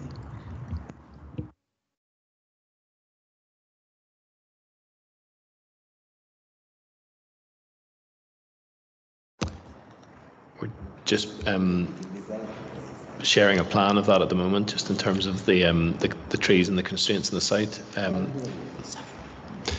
sorry, Councillor. Um, on screen, there's now a, a, the um, tree plan just explaining um, the constraints around the trees. Valerie, if, if there's anything you wanted to add. Otherwise, you know, in, in terms of the, the justification for those, um, that's ultimately a question for the for the applicant in, in terms of how they constrain the design and things like that. But in terms of um, why we find them acceptable, um, Valerie can can clarify that. So the tree officer has assessed the scheme and he is happy that the trees to be, that are being removed, which are seven trees, are of low quality value and they will be replaced with eight new trees, as well as a number of existing trees will be retained. And it's shown on this plan. So the blue and orange shows the existing trees to be retained and you've got the green, which shows the new trees to be planted. So there's eight new trees to be planted. That green at the back of the garden or the front? So there's new trees proposed to the front. Um, there's one to the there's one to the rear over here, so next to the garden, which is the rear garden, and there's new trees proposed to the front. So yeah, so mainly to the front, but also yeah, there's a tree proposed to the rear and to to the front um, to the North Hill frontage. Okay, thank you. Councillor Bevan. Yeah, I'm not sure if the developer's going to speak, so I'll raise this point now.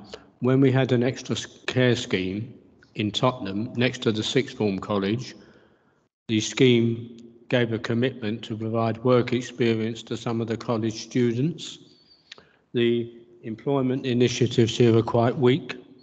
I wonder if we could strengthen them, say that they offer, say for five years, work experience to the uh, colleges nearby or, or something along those lines?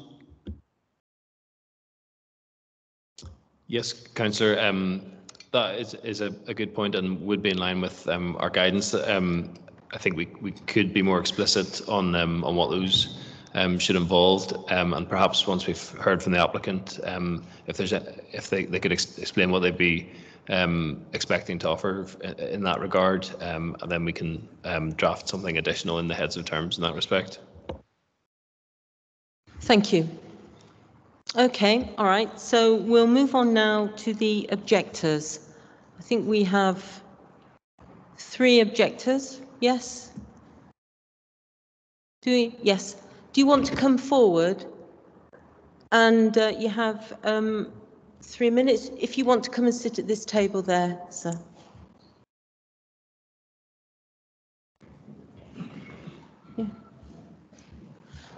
And if you would kindly introduce yourself, and as I say, you have three minutes. That's on, is it?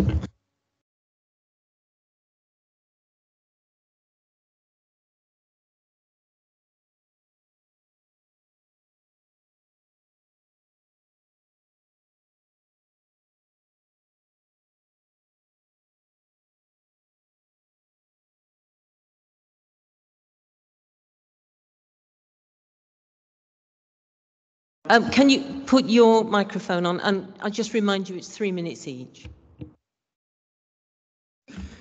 Good evening. My name is Aurel Tausig. I live right next door to the site at 109 North Hill. My house is Grade 2 listed, part of a listed Georgian terrace. This development will be devastating for my property. The part of the new building which will run alongside my back garden will be much larger, bulkier and higher than it is currently. The very tall North Hill block will be far deeper, extending further down the side of my garden, and the block linking it to other buildings on the site will be much higher. I have a picture here showing the impact. This will reduce the sunlight in my garden by more than 50%, according to the developer's own submissions. This is a massive breach of the re relevant guidelines on sunlight, which say a new development can take away no more than 20% of a neighbour's sunlight. Only one fifth of my garden will have sun. My windows will have much less light. I will feel enclosed by very high walls and with much less view of the sky. Also, the part of the building that juts out at the bottom of my garden will be built closer to me than currently, increasing the sense of enclosure. Houses on Yeatman Road will also lose sunlight in breach of the guidelines. The planning officer has dismissed my concerns, saying the current building and trees in my garden already overshadow me, and the same goes for Yeatman Road but she is not applying the guidelines and the council's policies correctly, which say trees should be ignored. And it doesn't matter how overshadowed you are to start with, what matters is the impact of the new development on the light one does have. I submitted an objection last week making this point and asked the planning officer to address it in her addendum, but I see she has not mentioned it at all. Also, the building will have new windows overlooking my garden and the Yeatman Road gardens. We will be looking at massive, extremely high brick walls which will invade our privacy. This will have an overbearing and dominant presence. Finally, the basement. This will be enormous. My house is fragile, it's Georgian and has no foundations. This excavation risks causing serious damage to my house and others in the terrace. The basement impact assessment says that ground movements during the works will cause cracking to my property, estimated at almost level two in the relevant scale, which a structural engineer has advised me would generally not be acceptable. There is also flood risk. My structural engineer tells me they have not dug the right type or number of boreholes and not tested the site over the wetter winter months. The area has complex hydrology and other nearby basement excavations have caused flooding to neighbours. This is very dangerous. Overall, this building will be grossly out of scale with its neighbours and breaches local conservation area policies. It will destroy my amenity and may cause structural damage. I'm amazed the conservation officer has approved it, as it will cause neighbouring properties, including listed buildings, so much harm. The proposals must be refused and the plans amended. Thank you.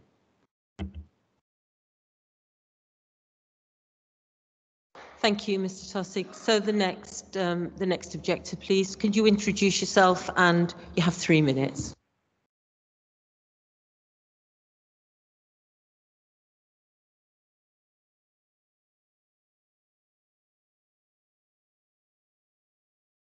Oh, yes, we, we, we do have them. I think we just, we just uploaded them or downloading them or whatever. Thank you. All right, so over to you, sir, and you have three minutes. Put your microphone Oh, on. And make sure you speak into the microphone. Start again.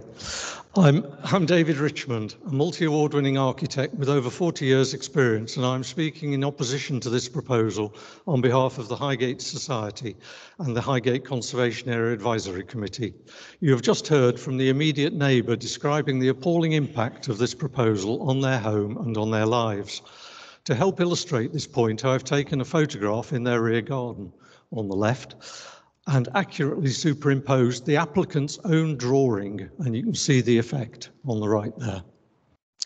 I do not know how many of the committee members have back gardens, but the, can they please ask themselves under what circumstances their own neighbours might get permission for a four-storey high rear extension and a two-storey extension the full length of the garden.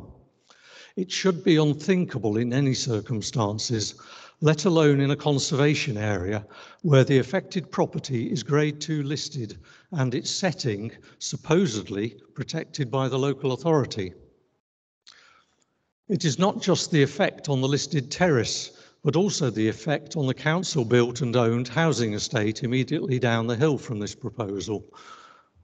Is it possible to switch to the next image, please?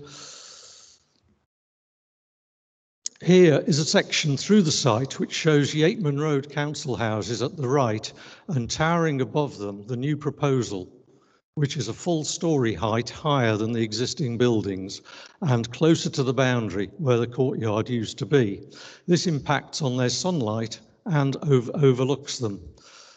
Uh, by the way, ignore that red line, it is a deception, but please ask me why afterwards. Is it right that a private commercial development with little discernible public benefit should impact so badly on both a listed terrace and on one of your own council-owned estates? That is for you to decide. We are not opposed to the redevelopment of this site, but this proposal is nearly three times the size of the existing scheme. We believe that it only needs only, only a small percentage of this vast increase were to be removed, then a far more acceptable scheme could be achieved. Why does the North Hill block need to be made so much deeper that it overshadows the listed houses next door, seriously harming their setting? Why does the link block to the North Hill building need to have a second floor added when the existing ground floor link would be perfectly adequate? Why does the basement need to extend under the North Hill block at all, putting the listed houses at serious risk of harm or collapse? Why does the North Hill block need to have a top floor when, as can be seen in this image, um, it could make a positive contribution to the conservation area? Mr Richmond, your, your three minutes is up. One, one final sentence, please. These limited changes would still leave the scheme well over twice as big as the existing. Is that not enough? We respectfully suggest that these changes must be introduced before it can be approved. If that means a refusal rather than a deferment now, then so be it. Thank you. And if you have any questions, I'll be happy to answer them.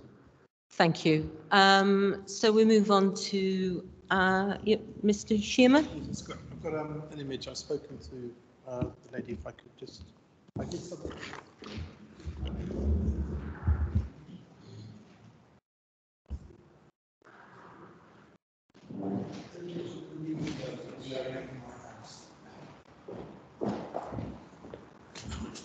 I've circled the new windows.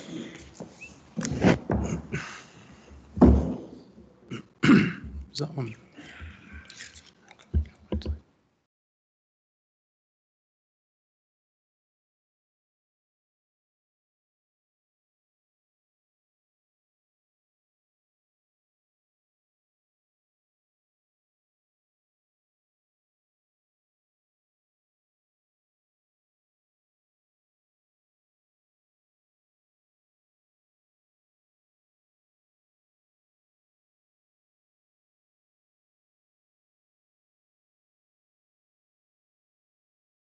Okay, well, you should have submitted it before, but I will allow it to be passed round. Okay, thank you. So you have three minutes, sir. Uh, if you can introduce yourself.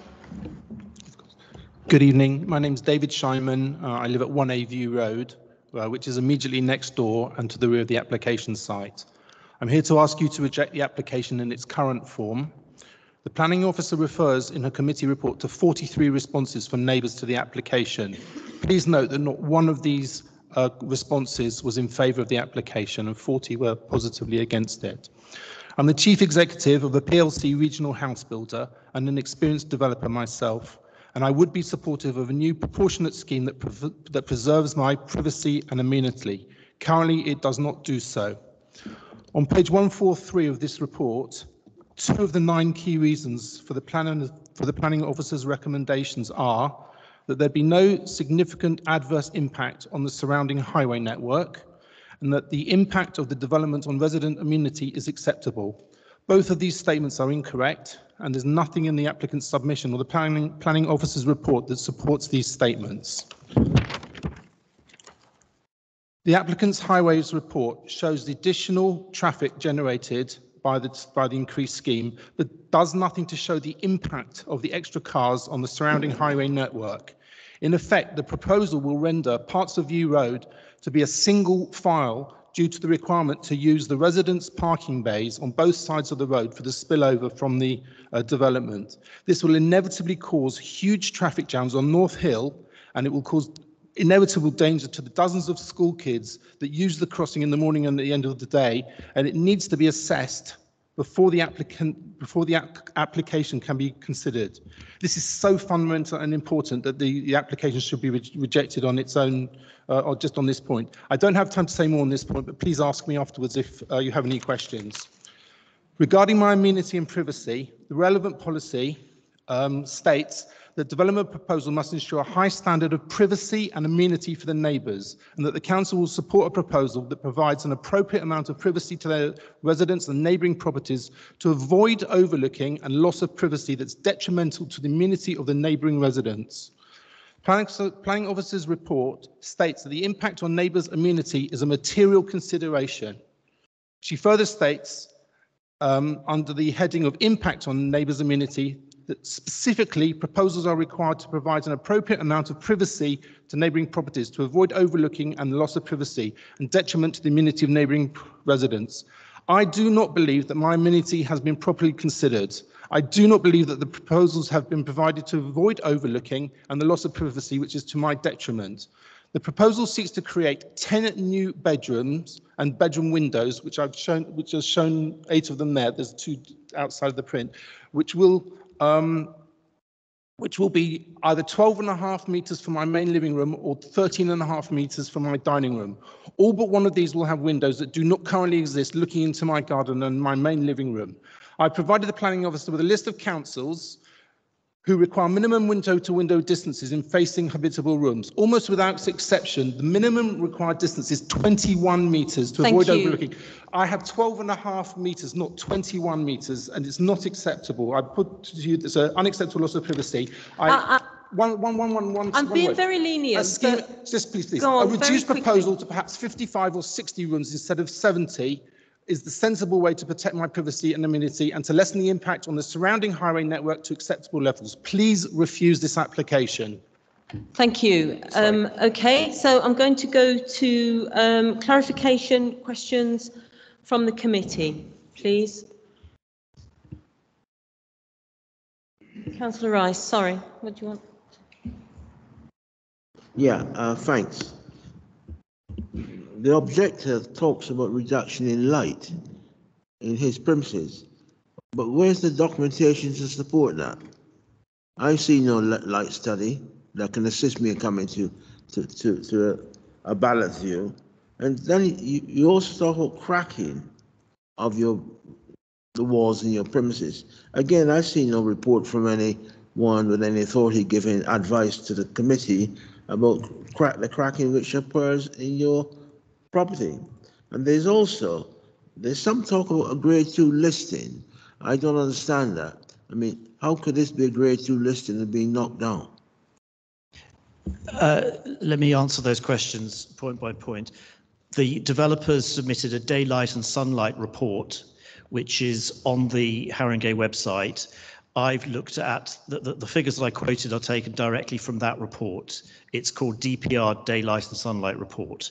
And in that report, it says there's something called the sun on ground test, which is part of the BRE guidelines, which deal with what is acceptable to take away uh, uh, daylight and sunlight from neighbours. The sun on ground test, they said that they tested 12 properties um, on North Hill and Yeatman Road, of which three failed the sun on ground test under the BRE guidelines, mine by an enormous margin. Three more barely scraped through, and the other six were not badly affected. So half of those which they tested failed or very close to failed. There were other um, daylight studies done in that in that report, and you'll see a reference to 98 or 99% of neighbouring properties' windows being unaffected. Those are dealing with different daylight tests under the BRE guidelines. That 98% figure is highly misleading because in uh, arriving at that, they've looked at 117 windows, which includes 59 windows from the Highcroft property, which is the other side of North Hill, far too far away to be at all relevant. So that's a very misleading figure, which the planning officer, with all due respect, has accepted uncritically in her report. So that's the first one. There is a daylight and sunlight report submitted by the developers, which is on the Haringey website. I read that. That's I've taken their own uh, conclusions and cited those. On the cracking, there is a basement impact assessment, which again the developers submitted, and that one uh, I've taken what I've taken on that is comes from that report. That says that my property, which is directly next door to the to the site, um, is very likely going to going to suffer cracking. There's a, a scale called the Burland scale, which um, assesses the, the, the, severity of the cracking. They say that I will be level one, but very close to the boundary with level two, um, where and my advice that I've, I've got from a structural engineer who knows the uh, area very well. He's commented on other proposals in the neighbouring vicinity. He tells me anything at level two would generally not be acceptable. So again, that is in the basement impact assessment, which is on the website su submitted by the developers themselves. I haven't just come out of that from nowhere. That's their own uh, their own submission. And then the third point you mentioned, forgive me, what was the third point? Oh yes, about the grade two listed. The building which is being knocked down is not listed. The grade two listed buildings are my property and the rest of the terrace, which is right next door to the care home. So what we're talking about is they want to demolish a building um, and but just a few meters away is my property. I'm the end of terrace and it's grade two listed, built in 1811, has no foundations. They want to build an enormous basement, um, which will cause, you know, the excavation of that will cause an awful lot of structural damage, an awful lot of damage. And, you know, the, the, the basement impact assessment talks about uh, the likely uh, cracking to my to my property, and it, it could be much worse. It's just an estimate at the moment that they've got there. But the point about listed buildings is important because the council has policies which say that listed buildings need to, the setting of listed buildings needs needs to be preserved. It's policy DM9 in the development management plan. And um, I find it absolutely extraordinary that the conservation officer and the planning officer seem to think that it's acceptable for such an enormous demolition work, an enormous um, building to be to be built, so much bigger than what's there currently, right next to a to a grade two listed building, um, which is of great significance and the, the, the, the developers okay, in their you. basement think, impact assessment already or talk about that. I think that you've covered the points. Thank you. Any more questions from the committee? Yes, Chair, can I ask, is Um, the conservation officer at this meeting? Just to pick up the points that have been just made. Which, sorry? The conservation officer. Yeah. Yes, um, Chair, if I could come in on that, we do have a conservation officer available um, who could perhaps um, clarify what has been assessed in terms of the setting of the listed buildings.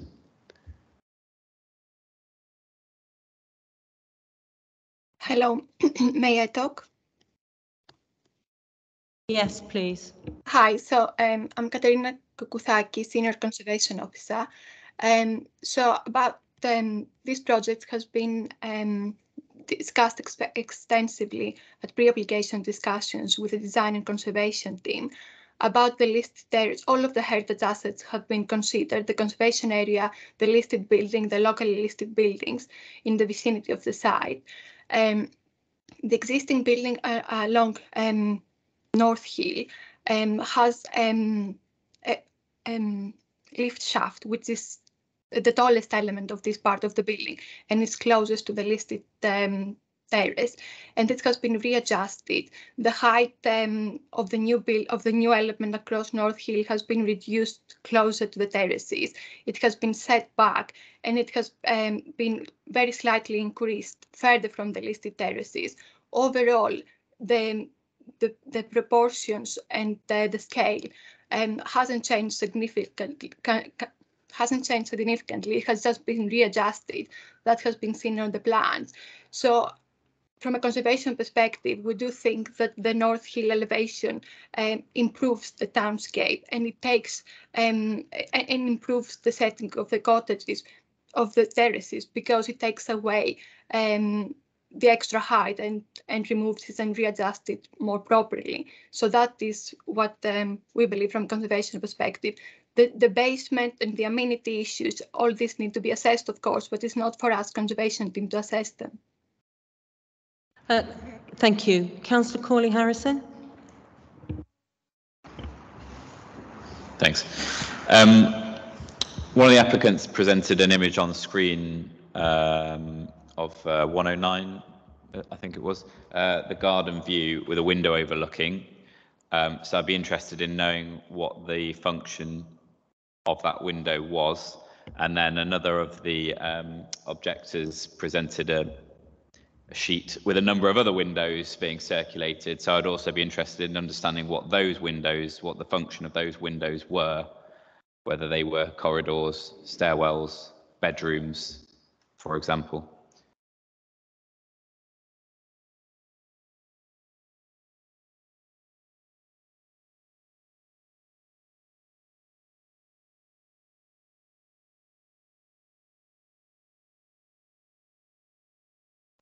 Councillor, we'll- just um, bring up one of the plans from the presentation earlier to um, to show you that.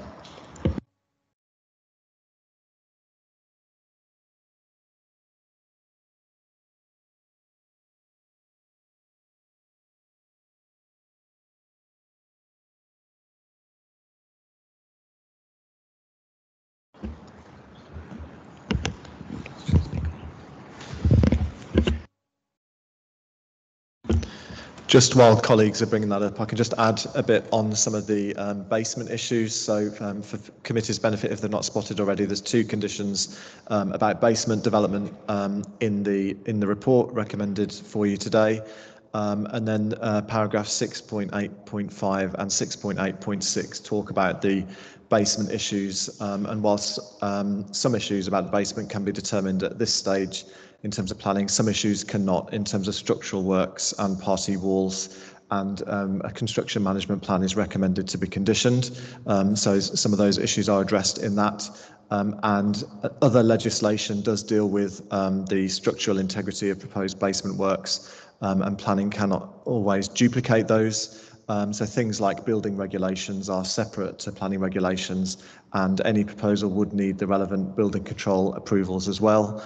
Um, at this stage, nevertheless, to, to be sure, um, we can recommend this for approval today. Um, building control colleagues were um, consulted and there was no objection um, from building control colleagues at this stage, although it's still subject to the detailed building control approvals as would be expected. So there's quite a bit already in the report on basement to help address some of the concerns raised. Thank you. Um, so I just want to go back to the uh, uh, to the plan that's been brought up. Can we can we just answer Councillor Cawley-Harrison's question on that, and then I will bring in the other councillors. Sorry, can you repeat the question, please? Thank you. Yeah, you presented, sorry, one of the objectives presented an image on screen that showed a window overlooking their rear garden. So I'm wondering what the function of the room that the window was from was. And then there was a sheet also handed around with a number of windows on um, a separate rear garden. So I would like to know what the function of those windows were. Right, so the windows that face onto the rear garden of North Hill are hallway windows, which you can see along here. And then the windows that face onto 1A View Road, um, David, Mr. David Sherman, he spoke, and they're bedroom windows. This is at first floor. And then you go to the second floor, and you can see that there's no additional floor here. It's a flat roof.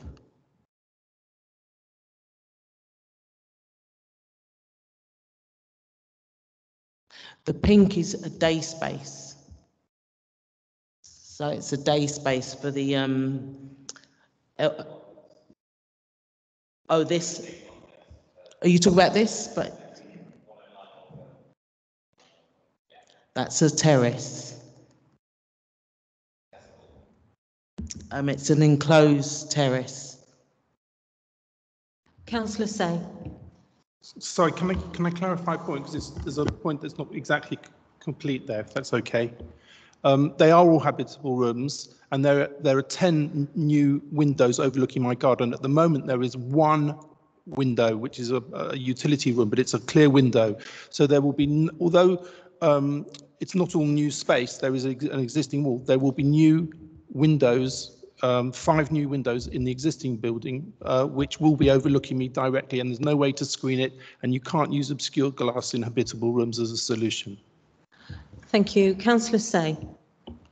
Yeah, the uh, quality review panel, um, uh, one of its suggestions was to retain the existing 1960s, what they call brutalist North Hill block on grounds of embodied carbon, but officers uh, uh, have always been supportive of its replacement on grounds of its rather ugly architecture, currently being a detractor from the conservation area in the immediate context of a listed Georgian terrace.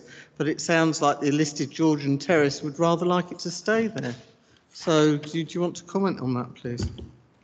The applicants had explored options of retaining the existing building, but it could not be adequately adapted to provide a modern care facility.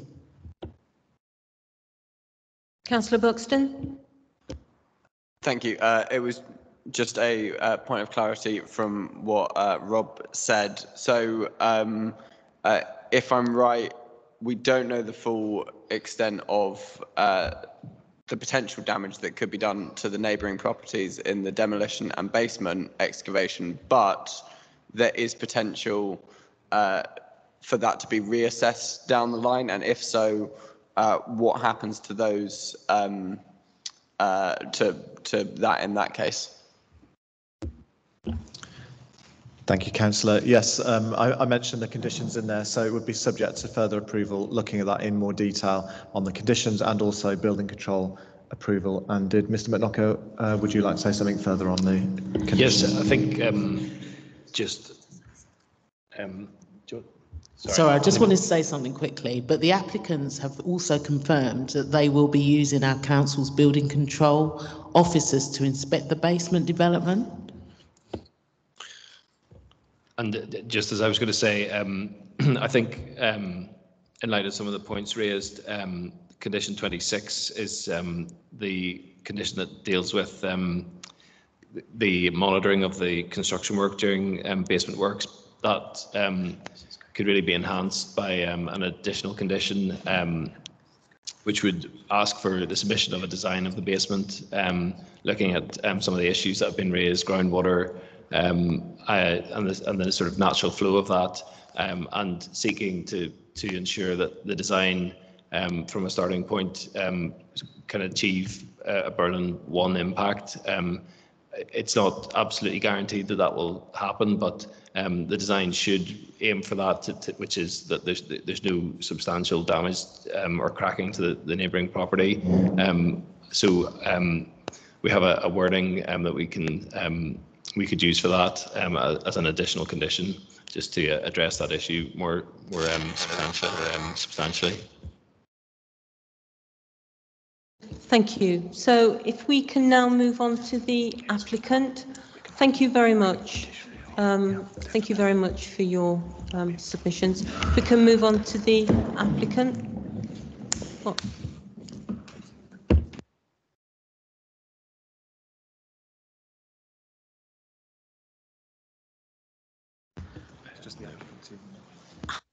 Are you the applicant, councillor?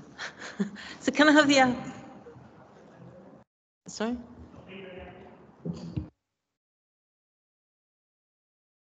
So supporters first. So supporter first, and then the applicant. So the supporter? Pardon?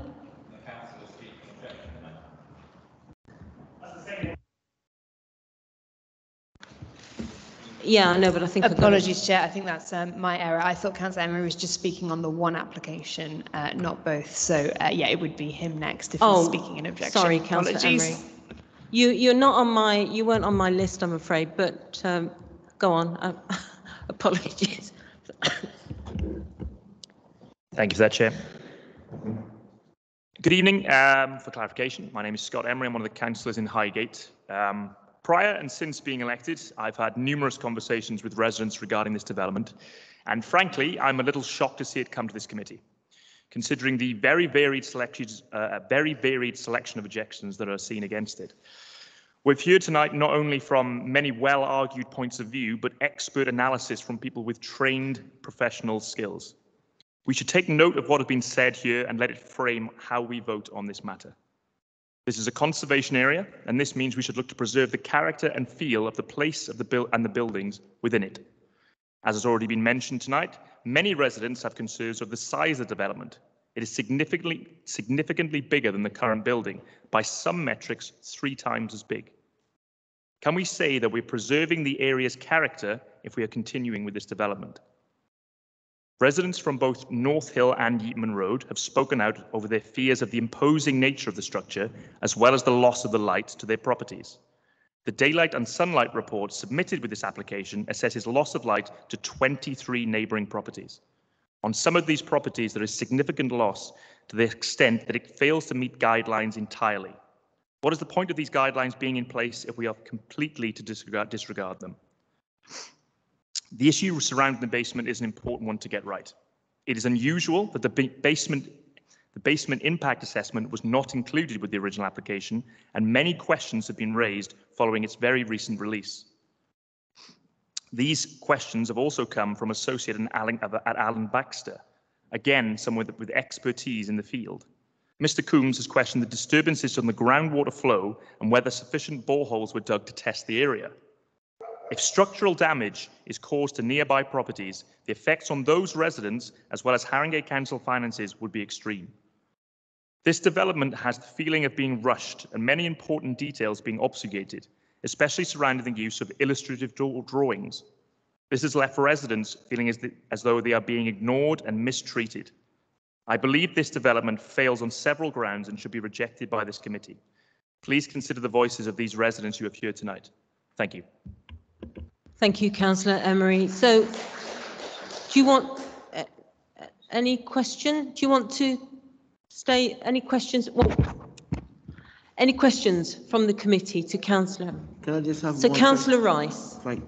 The, the speaker who just spoke allegedly says, allegedly he says, this is a conservation area.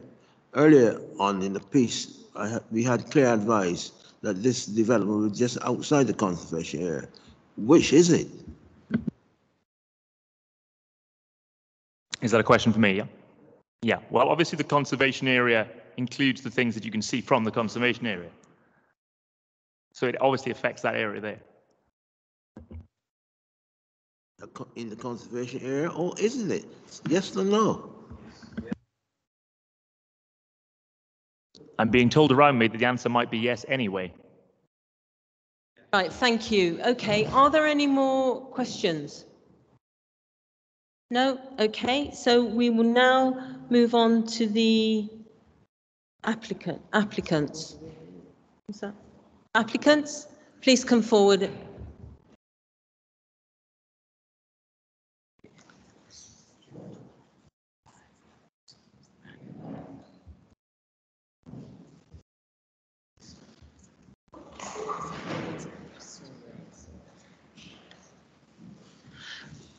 Right, you have 12 minutes if you want to use that. If you could introduce yourselves um, before you speak. So you have up to 12 minutes. Thank you.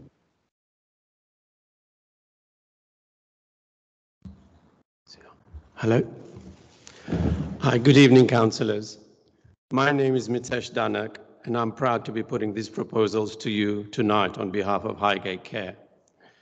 By way of background, I have been in the care sector for over 25 years, operating a number of successful and award-winning care homes and supported living schemes around the UK, and I employ over 1,120 people. I'm proud to say we have been operating in Haringey since 2008. We operate Priscilla Wakefield House, a 117-bedded nursing home in Tottenham. I understand there may be a level of regret at the loss of the Mary Feilding Guild, but as many members will be aware, this was a care home in dire financial difficulty with facilities well below the standard that should be expected for vulnerable older people in the modern age. The Guild chose to sell the site for exactly this reason. They simply could not afford to keep the home open, and it was caring for just 16 residents when, when, it, when it closed, despite having 43 bedrooms. Our proposals before you today support 19 new jobs retains the care use which has been on this site for over 100 years, replaces those 43 rooms with spacious and modern ensuite bedrooms in a purpose-built facility, combined with an additional 27 rooms for convalescence care. This is caring for people recovering from surgery, which I'm sure will benefit many people um, when it opens. I wish to add that our original application was for a 70-bedded convalescence unit. However, during consultation, there was a lot of um, uh, uh, uh, demand or a need uh, expressed for continuing the uh, care home or long-term care home use. So we've, we've accommodated that use in, in these new proposals. Um, we are grateful to Haringey officers for being so open and collaborative, working with us over the past 18 months to make sure this scheme is the best it can be with very significant design changes along the way. We simply do not accept concerns from the objectors. These are that there are unacceptable impacts on neighboring properties. This is borne out by the fact that your officers and the independent review panel, as well as Historic England, strongly support these proposals, having assessed them thoroughly. I will now hand over to Niraj Dixit, our planning consultant. Thank you.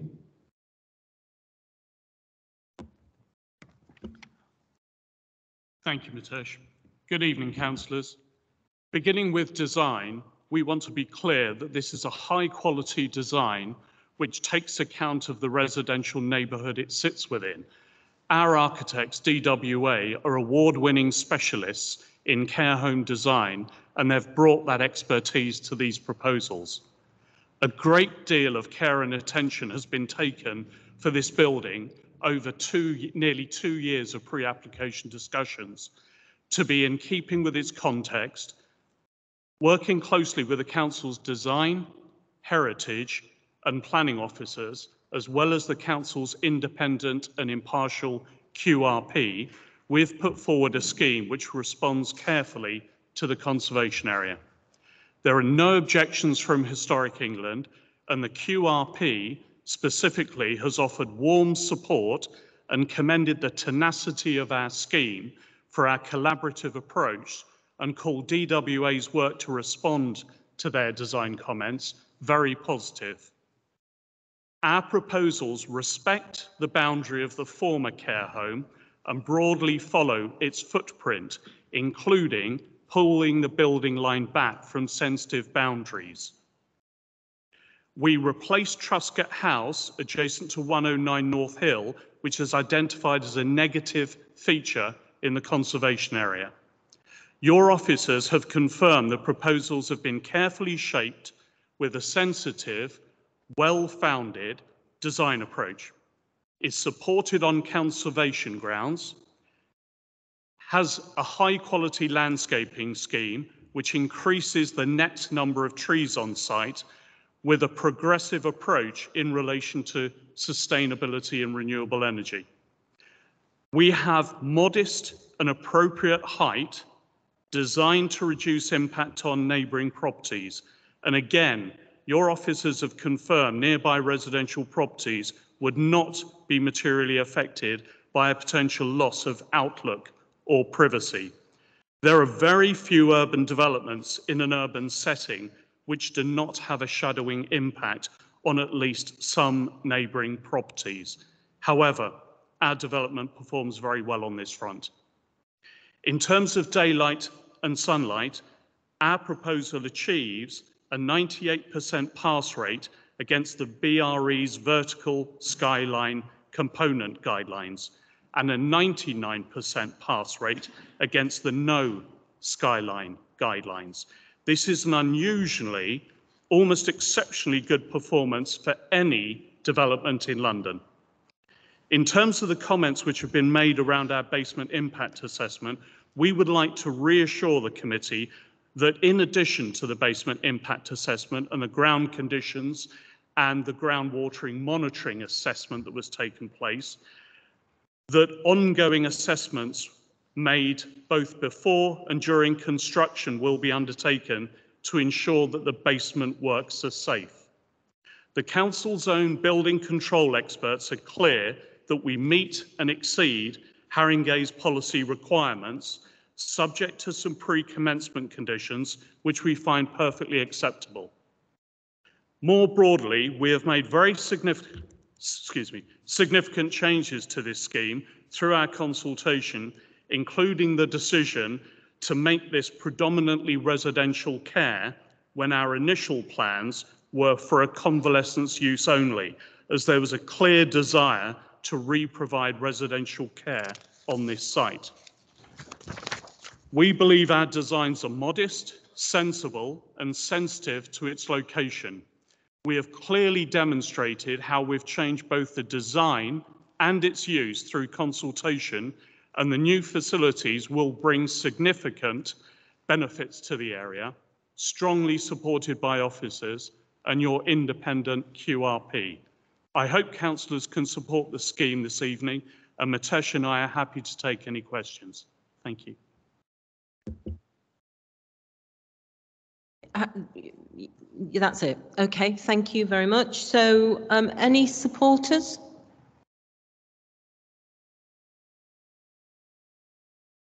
No, okay, so any questions, um, clarification questions from the committee, please? Councillor Bevan. Yeah, I raised earlier your support for employment and apprenticeships and that type of thing, because as I said, we had an extra care scheme in Tottenham that gave a commitment to the sixth form college adjacent to provide work experience on, uh, what shall I say, on a more or less continuous basis.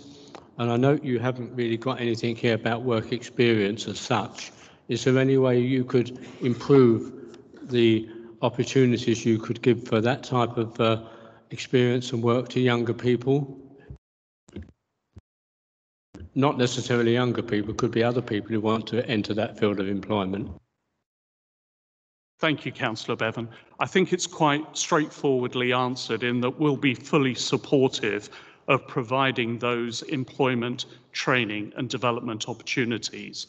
Um, there is something in amongst the planning documentation that expresses our willingness and uh, encouragement to do so. And officers have actually included a, a Section 106 obligation in the Section 106 agreement that we're happy to accept.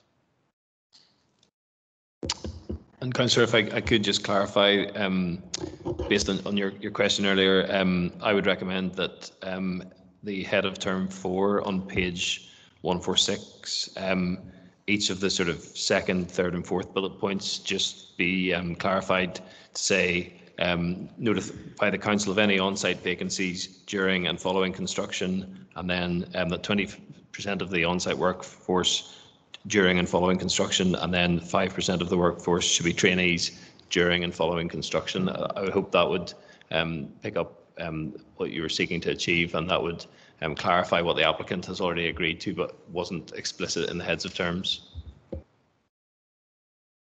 Councillor Ovett. Hi, just kind of connected to Councillor Bevan's point.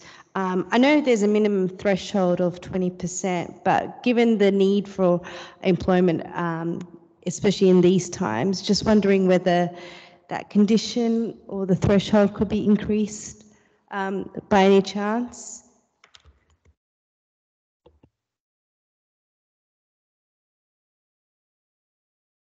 Thank you, Councillor. As you know, following the committee resolution or any committee resolution, at the moment, the officer recommendation is to delegate the precise wording of conditions and Section 106 obligations to officers. So we would be perfectly happy in principle to discuss the wording of that to meet councillors' needs. Uh, Councillor Cawley-Harrison. Thanks. Um, there's obviously kind of discrepancies, I suppose, between the objectors' views on overlooking privacy and light and the applicants, and also from the submission from, for example, the Highgate Society and from officers. Um, so, for example, on um, page 247, where it refers to um, the concerns about overlooking, I think the officers response is that there are essentially no issues with overlooking. And yet we heard, uh, and, and daylight, and yet we heard earlier about the loss of over 50% of sunlight, rather, um, not daylight, of, of sunlight on, on one property, which isn't really referenced. So I would like some clarity on the impact on specific properties that have been referenced this evening against um, London Plan guidance, our own local guidance, and if um, relevant, obviously the Highgate plan as, as well. Um, I think we have two properties in particular that I would like to know the distance and the impact. Thank you, Councillor. Um, if I could just bring in our design officer just to provide some more detailed clarification on those points. Thank you. Yes. Um, so we've heard from two um, neighbouring residents and, and, and, another objective acting on behalf of those two neighbouring residents. So there's the, the, the, the two affected properties. Um, number 109, North Hill, that's the only property with any significant loss of sunlight. There are no properties with any significant loss of daylight. There are, no, there are a couple of properties in Yeatman Road with a very minor loss of daylight and sunlight, either to rooms or to their gardens. Um, there are no, the, the, the, property in question in uh, North Hill uh, doesn't lose any noticeable amount of daylight or sunlight to any of its rooms, but it does lose quite a significant amount of sunlight to its garden but that garden is already not BRE compliant.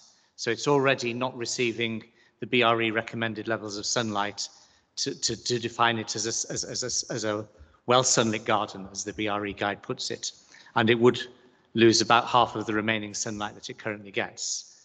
Um, but it, as, as, as I say, it would not lose any noticeable amount at all of sunlight to any of its rooms nor would it lose any noticeable amount of sunlight to any of it, uh, any amount of daylight to any of its rooms.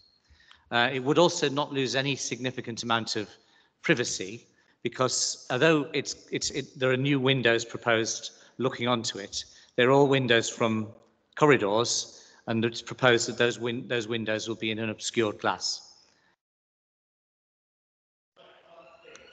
Um, I'm sorry, I'm sorry, sir. Uh, you wanted to come in, I think. Thank you, Chair. I just really wanted to um, make a point of clarification on Richard's very helpful clarification points. And Richard mentioned the impact on sunlight to property 109 North Hill. It's, a, it's actually the shadowing of the rear garden. It's not sunlight.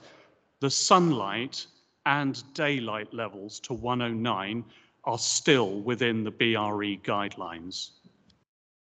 I hope that helps. Are there any more questions from the committee? Well, uh, sorry, I think you only addressed one property. Yes, I think um, if Valerie's just going to talk through the impact on privacy um, to 1A View Road and has just got a plan um, up to explain that. So if you note the um, setback distance plan, so this is 1A View Road, and you can see the outline of the existing building, which is in red so you can see that the proposed building has been, even though it goes up a story, it's actually pulled away further from the building, existing building line on all these windows that are facing 1A View Road. And there's a tree as well for screening. So, sorry. Uh, I'm sorry, uh, Councillor Cawley-Harrison. Yeah, I mean, that doesn't really answer the question because it has gone up a story. So the, the angle of sight is completely different. So what is the overlooking? Presumably there has been an assessment of that. Um, so what is the overlooking versus guidance?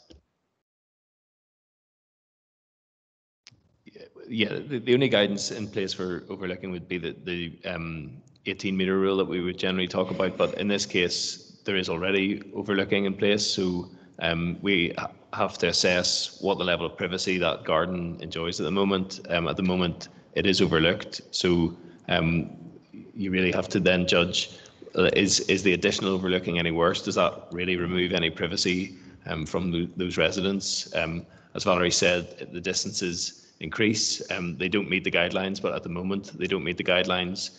Um, and again, uh, you know, as as we often say, those guidelines are based on very suburban locations. Um, this is is quite dense um, and has um, quite close relationships. So, um, in this case, we, we believe those to be appropriate. That there's no significant loss of privacy. There is some loss of privacy, but it, it's not significant enough to um, resist this application.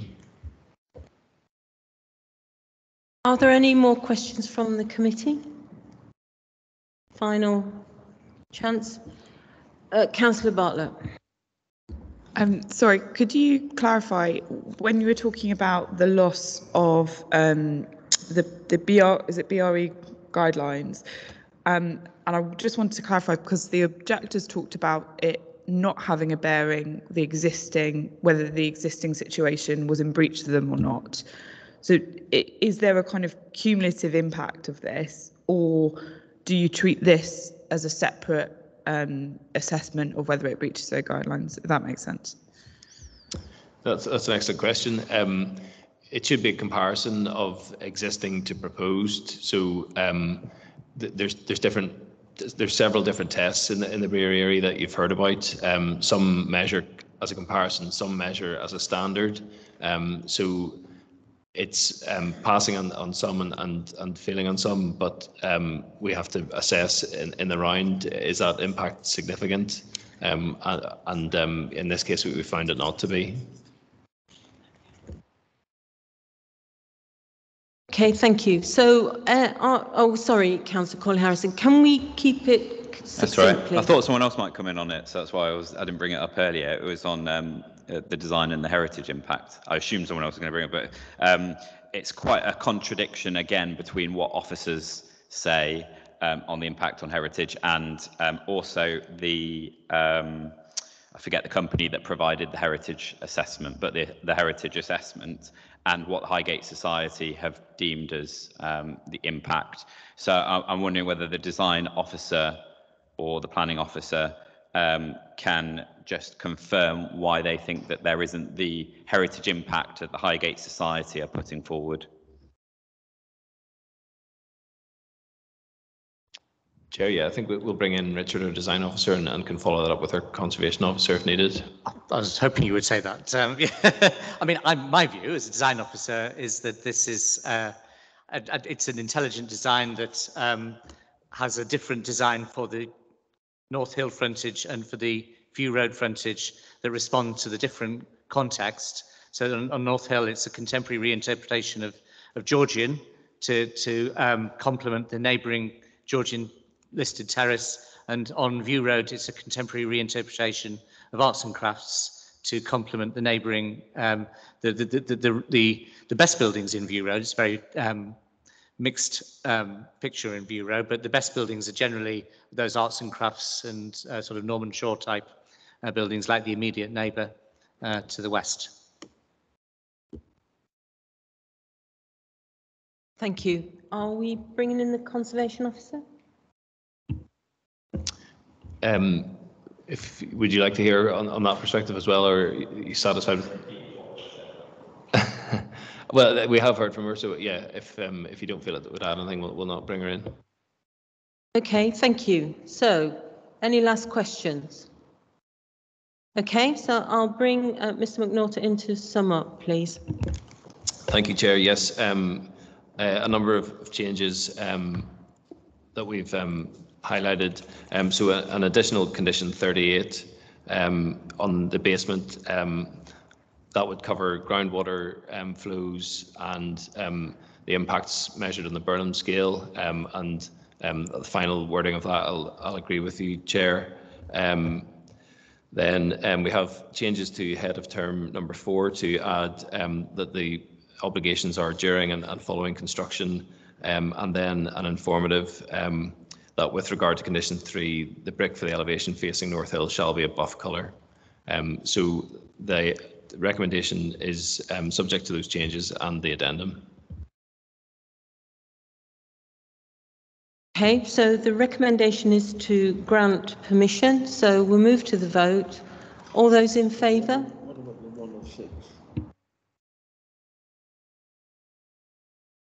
All those in favour, please show.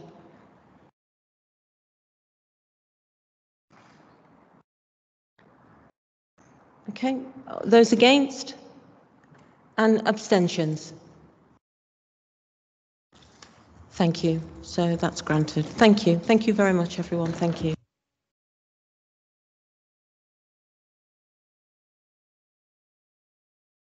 Point of, point of order, point of order, Chair. Point of order, Chair. It, it, it is now 10 to 10. There been no uh, requests to adjourn standing orders to allow any further business to proceed after 10 o'clock. And, and, and therefore, I think the, meet, the meeting must now close. No, I think if we start St Anne's, then we can extend the sta- we can extend the standing orders. I'm sorry. So I'm sorry, I'm sorry, Councillor Rice. So I'm moving on. No, So- no, but but you're not right. A question is trying to shout me down about this.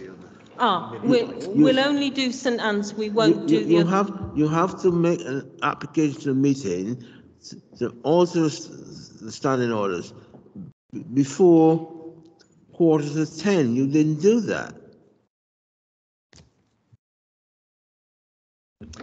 Um, the, the quarter to 10 figure isn't a figure in the Constitution, it's just before 10, um, but you can continue with the item that you've begun. So if you begin the next item, you can conclude that one at the chair's discretion. Okay, okay, right, thank you. So we move on. So item 10, the pre-application briefings, that's just for reference on the agenda. And we now move on to item 11, which is the St Anne's General Hospital, St Anne's Road, N15 3TH. Um, and this is a hybrid? Okay. It's a pre-application. It's a pre, this is a pre-application. So the, uh, um, the planning officer is to introduce the report. Thank you. Ask Christopher Smith, the planning officer, to introduce this report.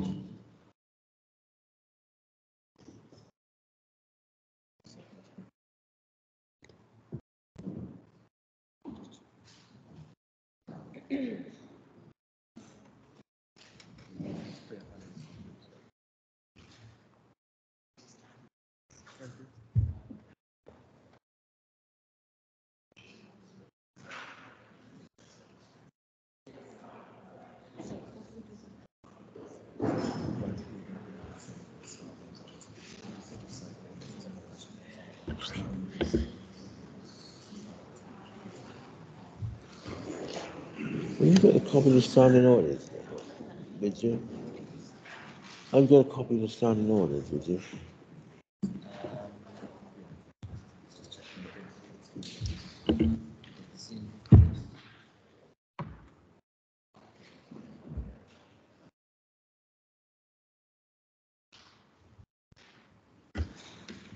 Um, hi everyone. Um, appreciate it's late, but we'll just do this this final item. Um, I'm just going to do a, a brief introduction um, to the pre-application, and then the the applicant will talk you through the uh, pre-application scheme. So um, this pre-application proposal is for the demolition of several buildings on site and the provision of up to 995 residential units in multiple buildings of between three and nine stories in height, flexible non-residential uses, new public realm and green spaces, new routes into and through the site connecting St Anne's Road. Sorry, conscious of, yeah, conscious it's a bit late. I'll slow down. Shall I, shall I start again then? This pre-application proposal is for the demolition of several buildings on site and the provision of up to 995 residential units in multiple buildings of between three and nine stories in height, flexible non-residential uses, new public realm and green spaces, new routes into and through the site connecting St Anne's Road and Warwick Gardens, and provision of car and cycle parking. Can read it?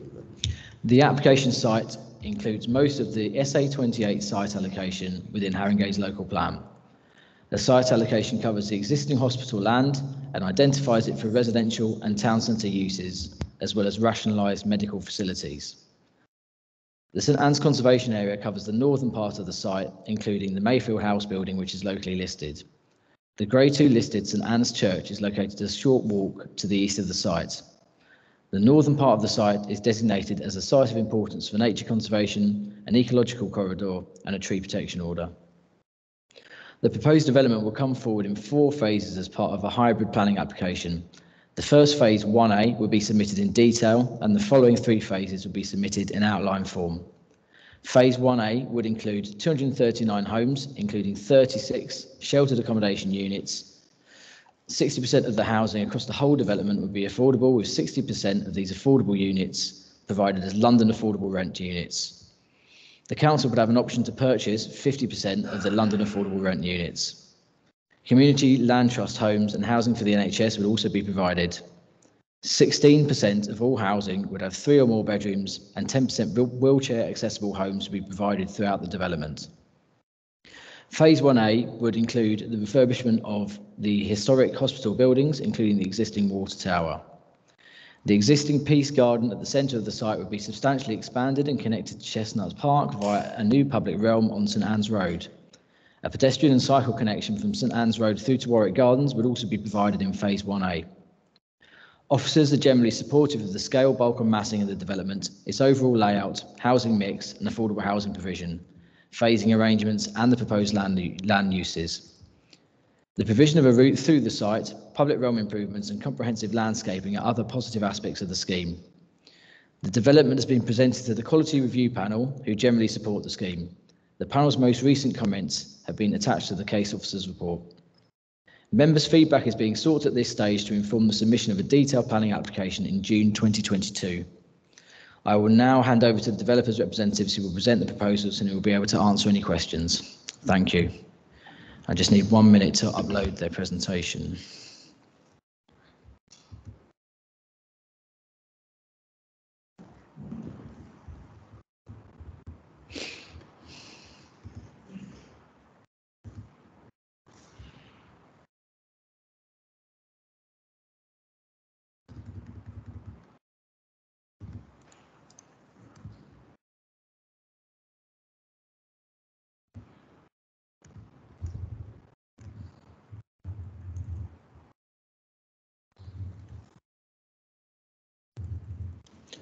There's two.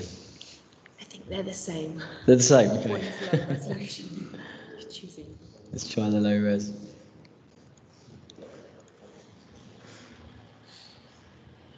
I'll just, um, whilst we're just waiting for this to come up, I'll just give a very uh, brief introduction. So thank you very much, officers, uh, for, for giving an overview of the scheme. Thank you, Chair, and hello, uh, councillors. Uh, my name is Rob Reeds and I'm a planning consultant at Lambert Smith Hampton, along with Rachel and Ed from Karakusevic Carson Architects. We are on uh, here on behalf of our clients, Catalyst Housing and Hill Group, to present the proposals for the development of the former St Anne's Hospital site. We also have Dave Wakeford from Catalyst and Ross, Ross Williams from Hill, who will be able to assist with any queries should you have any following this brief presentation, which is now on the screen. I understand that some of you visited the site on Wednesday last week, and we hope that you can see from that visit what fantastic opportunity there is to create a high quality new neighbourhood in this part of Haringey. The site is located just off St Anne's Road and was formerly part of the wider hospital site that has recently been progressing its own health-led master plan. In 2020, in 2020, Catalyst were selected as the Mayor of London's preferred development partner for this section of the site. Over the past year, we, along with the rest of the team on uh, the subsequent pages, um, have been uh, working with key stakeholders to progress pre-application discussions on the site, which is going to result in a planning application being submitted imminently. The scheme is for the demolition of most buildings on site and the provision for up to 995 new high quality homes. A minimum of 60% of the homes delivered will be affordable, with a compliant tenure split of 60% London affordable rent and 40% as intermediate tenures. The remaining homes, which is 40%, will be private tenure. In addition, there will be new non-residential uses on the site, situated in seven retained buildings and two units within the new blocks. I'm now going to pass over to Rachel, who will set out the site context and wider vision. Thanks, Rob.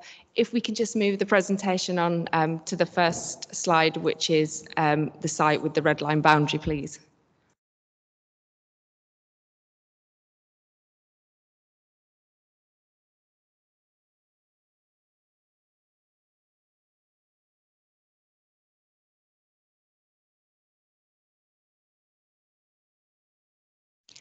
Thanks. So the site is a former fever hospital that has been a medical site since the 16th century. Here you can see the site boundary indicated in red. Buildings shown in orange are the buildings from the 1892 hospital, which are to be retained as part of the proposals. To the north of the site, boundary is St Anne's Road and Chestnuts Park.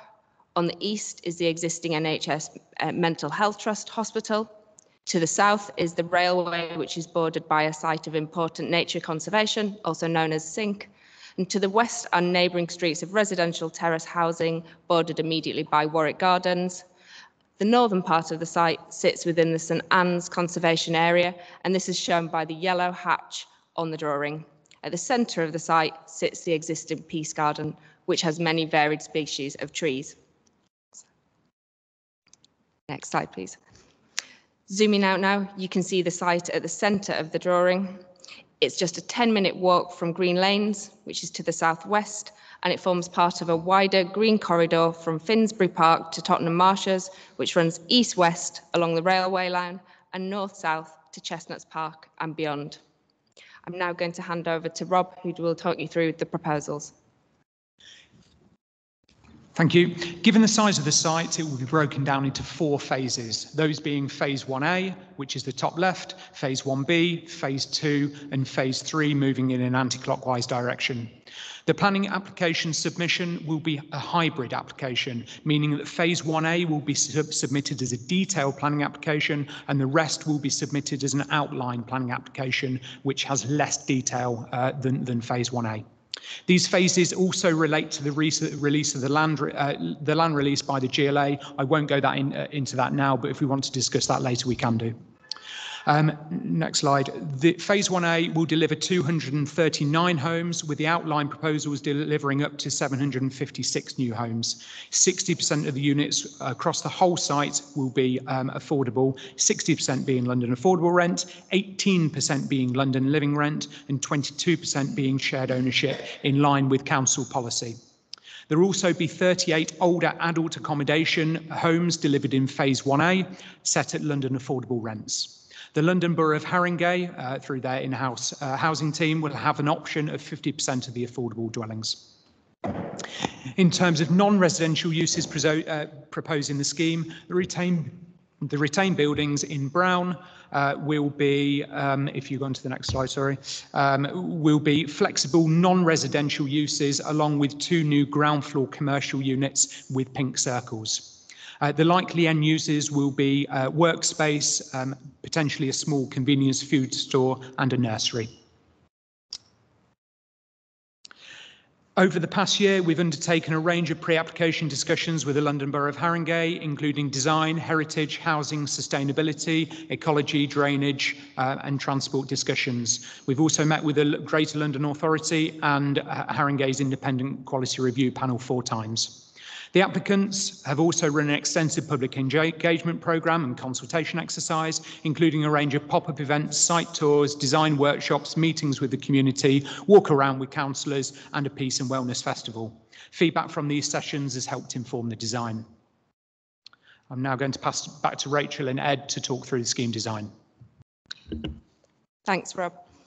So our vision seeks to capture the site's unique qualities and sense of place with four key themes shown on this slide. The first is health legacy, which means embedding memories of the former hospital within the proposals, as well as delivering improved health and well-being for residents. The second is built heritage, where we are retaining key buildings and giving those a new lease of life. The third is nature and ecology, where we are celebrating the existing arboretum of trees and green assets and extending and connecting these spaces through a new layer of landscape. The fourth and final is community, which means learning from the rich local memory and knowledge of the site and adding a new layer of community life and activity. So looking at the unique qualities of the site in a bit more detail, the existing green landscape has ecological value, and there are a number of significant mature trees on site, including at the Sink woodland, many of which are of local value to the community, as well as some rare species such as the veteran spotted thorn. In terms of existing buildings, seven are being retained, of which you can see on the right-hand side of this slide. Starting top left and moving left to right, they are the Peace Building, the admin building, Mayfield House, Eastgate and Westgate Lodge, Mulberry House and the Water Tower. Next slide, please. So building on this unique ecology and heritage on site, our design approach for the master plan seeks to firmly embed the existing retained buildings within this green heritage of the site. This drawing shows the ground floor layout of the proposed master plan with the existing peace garden, which you can see at the centre, which is tripled in size. The retained buildings are shown in pink, and these are conceived of pavilions set within this fantastic landscape amenity. These buildings become focal points in the master plan with new streets and open spaces created around trees and heritage buildings.